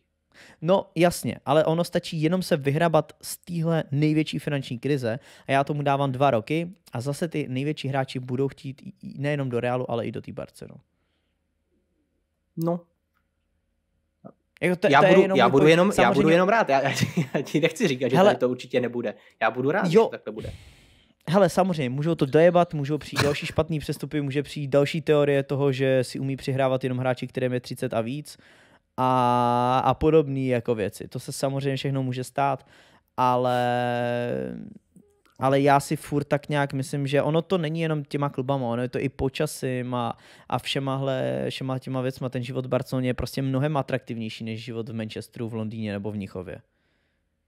To prostě tak jako a, a zvlášť u těch eh, jižanských hráčů a to myslím i ev, ev, evropský, z- evropský země, které jsou jako na jihu, tak ty hráče to táhne do toho tepla. Oni nechtějí, aby jim tam celý rok chcelo v Manchesteru, že jo. Nebo v Německu je taky furt zima, že jo. Kdo, kdo by chtěl bydlet v Mnichově? Nikdo. Tak akorát Němci maximálně. Takže... No, ty, pivo napríklad. No, tak pivo si koupíš v Barceloně. Ho si necháš dovážet, když budeš canky. Já, doufám, že máš pravdu samozřejmě. Hmm. Já jenom teda... ale já to, já to tak furt vnímám, víš, Ako- že v posledních úplně i deseti, deseti letech, tak já jsem vždycky to viděl tak, že ty hráči tam, hráči chtěli Real a Barca. Prostě když někdo chtěl Real Barca, tak jiný klub se do toho ani nemusel zapojovat. To prakticky bylo úplně k ničemu. Kámo, ja si napríklad súhlasím, ale zasa pozrime, Hmm. ako je teraz aktuálne vnímaná Premier League. A nechcem povedať, že aktuálne je to vo futbalovom svete tak, že je to uh, ako v hokeji, že proste Premier League je v úvodzovke takou NHL-kou, ale ono sa kľudne môže do tých troch rokov kľudne aj byť. Pozrime Kámo, sa, možná, ale Premier já League vykupuje najväčšie hviezdy proste talianskej ligy a sú tam áno týmy ako PSG uh, Hmm. aktuálne a Bayern, ktorý dokáže konkurovať. Bayern aj tak vykupuje hlavne iba tých Nemcov, Hmm. jo, ale Hmm. potom je nič. Fakt aktuálne Premier League je fakt v úvodzovku takou NHL-kou s No, tým, že je hele, tam ten já, Paríž. já vím a, a já s tím kámo souhlasím, ale koukej, jaká je situace teďka. Situace Pogba, situace Haaland, situace Mbappé. A klidně se může z velké části stát, že všichni tři příští rok budou ve Španělsku. A kde bude celá Premier League toho, že proč United nedokáže udržet Pogbu? Třeba ho udrží, jo? Já bych byl jenom rád. Třeba si jim ho podaří udržet, ale je tady velká šance, že půjde pryč, že půjde do toho Reálu, nebo potenciálně i do té Barsy. Uh, to stejný Haaland. Chce ho úplně celý svět, bude ho chce, chtít celá Premier League, ale stejně je největší šance, že skončí v Reálu nebo v té Barceloně. No, hlavně v tom Reálu teda větší šance, No. že zůstane. A, a to stejný Mbappé. Mbappé ho taky chce zase celý svět. A kde je ta síla Premier League toho, že, že ho, že může, jakýkoliv klub Premier League, kámo, jak, naprosto jakýkoliv do jednoho, by chtěl Mbappého. Nevěřím, že by se našel jeden jediný klub, který by řekl ne Mbappému zadarmo v létě. Absolutně nereálný. Ale stejně ten Borec chce jenom do Realu. Takže jako já souhlasím s tím, že Premier League bude nejlepší liga na světě, protože tam budou, bude tam nejvíc hvězd. Ale podle mě ty úplně největší světové hvězdy stejně budou potom v tom Realu a v Barce. To je jako, hele, byl bych velmi rád, kdyby ne, miluju Premier League nejvíc prostě a jsem rád za ten hype, který mají teďka a podle mě následující ještě nějaký ty roky mít budou a, a ta finanční síla je tam obrovská a, a, a všechno, ale nejsem přesvědčený o tom, že dokážou prostě, to spíš si myslím, že se, že se dřív stane prostě ta Superliga nebo něco takového. Ale nemyslím si, že to, že to bude úplně, úplně tím způsobem, kdy, kdyby prostě třeba dejme tomu, United City, Liverpool nebo Chelsea byli schopní vykoupit hvězdního a naprosto klíčového hráče Realu Madrid nebo Barcelony. Angel Di Maria pozdravuje. Nechtěl, v Realu ho nechtěli. No. To nebylo tak, že Di, Mario, Di Maria neodcházel jako hráč, který ho Real nechce pustit a on chce odejít. Varan? To... Mm, OK. OK. Dobře, Varan. Varan je dobrý příklad. Ale jak dlouho byl v Reálu, že jo? Jasné, tak vždy tam je nějaký ten argument, že prečo A- chce odísť. ale OK, aj, po, aj hele, je argument, prečo chce odísť, vieme. Je tam dlho, nedarilo sa, možno nechce čakať. No, možno odíde v tom najhlubšom období, že United sa začne dariť a, a on odíde, ale tiež je tam nejaký Kam argument, momentálně prečo... to nedává smysl, protože United je dál než Real momentálně. No, ale Takže vieš, on si, to, do Reálu... on, on si to možno tiež povie, že ale už idem tam, chápeš ma? A tiež to nebude dávať zmysel. Mm, Nevím, no, jako, Va- Varan je dobrý příklad, s tím souhlasím, ale to je jediný, to je jediný příklad, který si pamatuju, že ať už odcházel Ezil, ať už to byl Di Maria, tak to byli, odcházeli v době, kdy v Realu byli nechtěný. Mhm, OK, To, to no. to tak je. Honza, máš ešte niečo, čo nám chceš zdeliť? Kľudne k tejto téme, alebo k nejakej inej? No asi jenom to, já jsem se chtěl trošičku obhájit tam za to, co si myslíš, že bude vnímáno negativně spoust, spoustou fanoušků, já teda doufám, že ne, ale kdybych to měl vzít v kontextu těch posledních 15 let, tak samozřejmě stavím Barcelonu i o dost vejš než Real. Mhm. Mm-hmm. Není, to Mhm. jenom, není to jenom prostě o jeden level, ale klidně bych tomu dal i dva levely, když počtem trofejí to nebyla právě žádná hit paráda, ale to, to je to jako, řekněme, měla Barcelona těch posledních 15 let lepší tým nebo lepší týmy než Real? Měla, že jo? A měla Určite o, ho, o hodně. A měla taky právě nakročeno i finančně. Vlastně se stala finančně i největším klubem na světě. A to je právě to, že Real, i když dlouhodobě spíš koukal Barceloně na záda, tak z toho tak nějak ne- nespanikařil. Jako, I když Florentino je pro mě taky no ne, nebudu, nebudu tady hodnotit Perez, ale prostě o Florentinovi nemám valný mění, tak dokázal to nějakým způsobem ukočírovat, prostě nespanikařil a říkám, a ten Real nikdy za tady tu dobu nepropadnul tak, aby se dostal až takhle. A Barcelona z nějakého důvodu, jo, že prostě tam měla oprávněně hrozně velké očekávání, který, který nenaplnila a potom se nedokázala přes tady to všechno připravit ani do budoucna. A to Real, i když je, co se týče přestupů, taky dlouhodobě kritizovaný, co vím, spoustou vlastních fanoušků, tak si tak nějak udržuje, udržuje tu svoji pozici, bych řekl, aspoň ve Španělsku.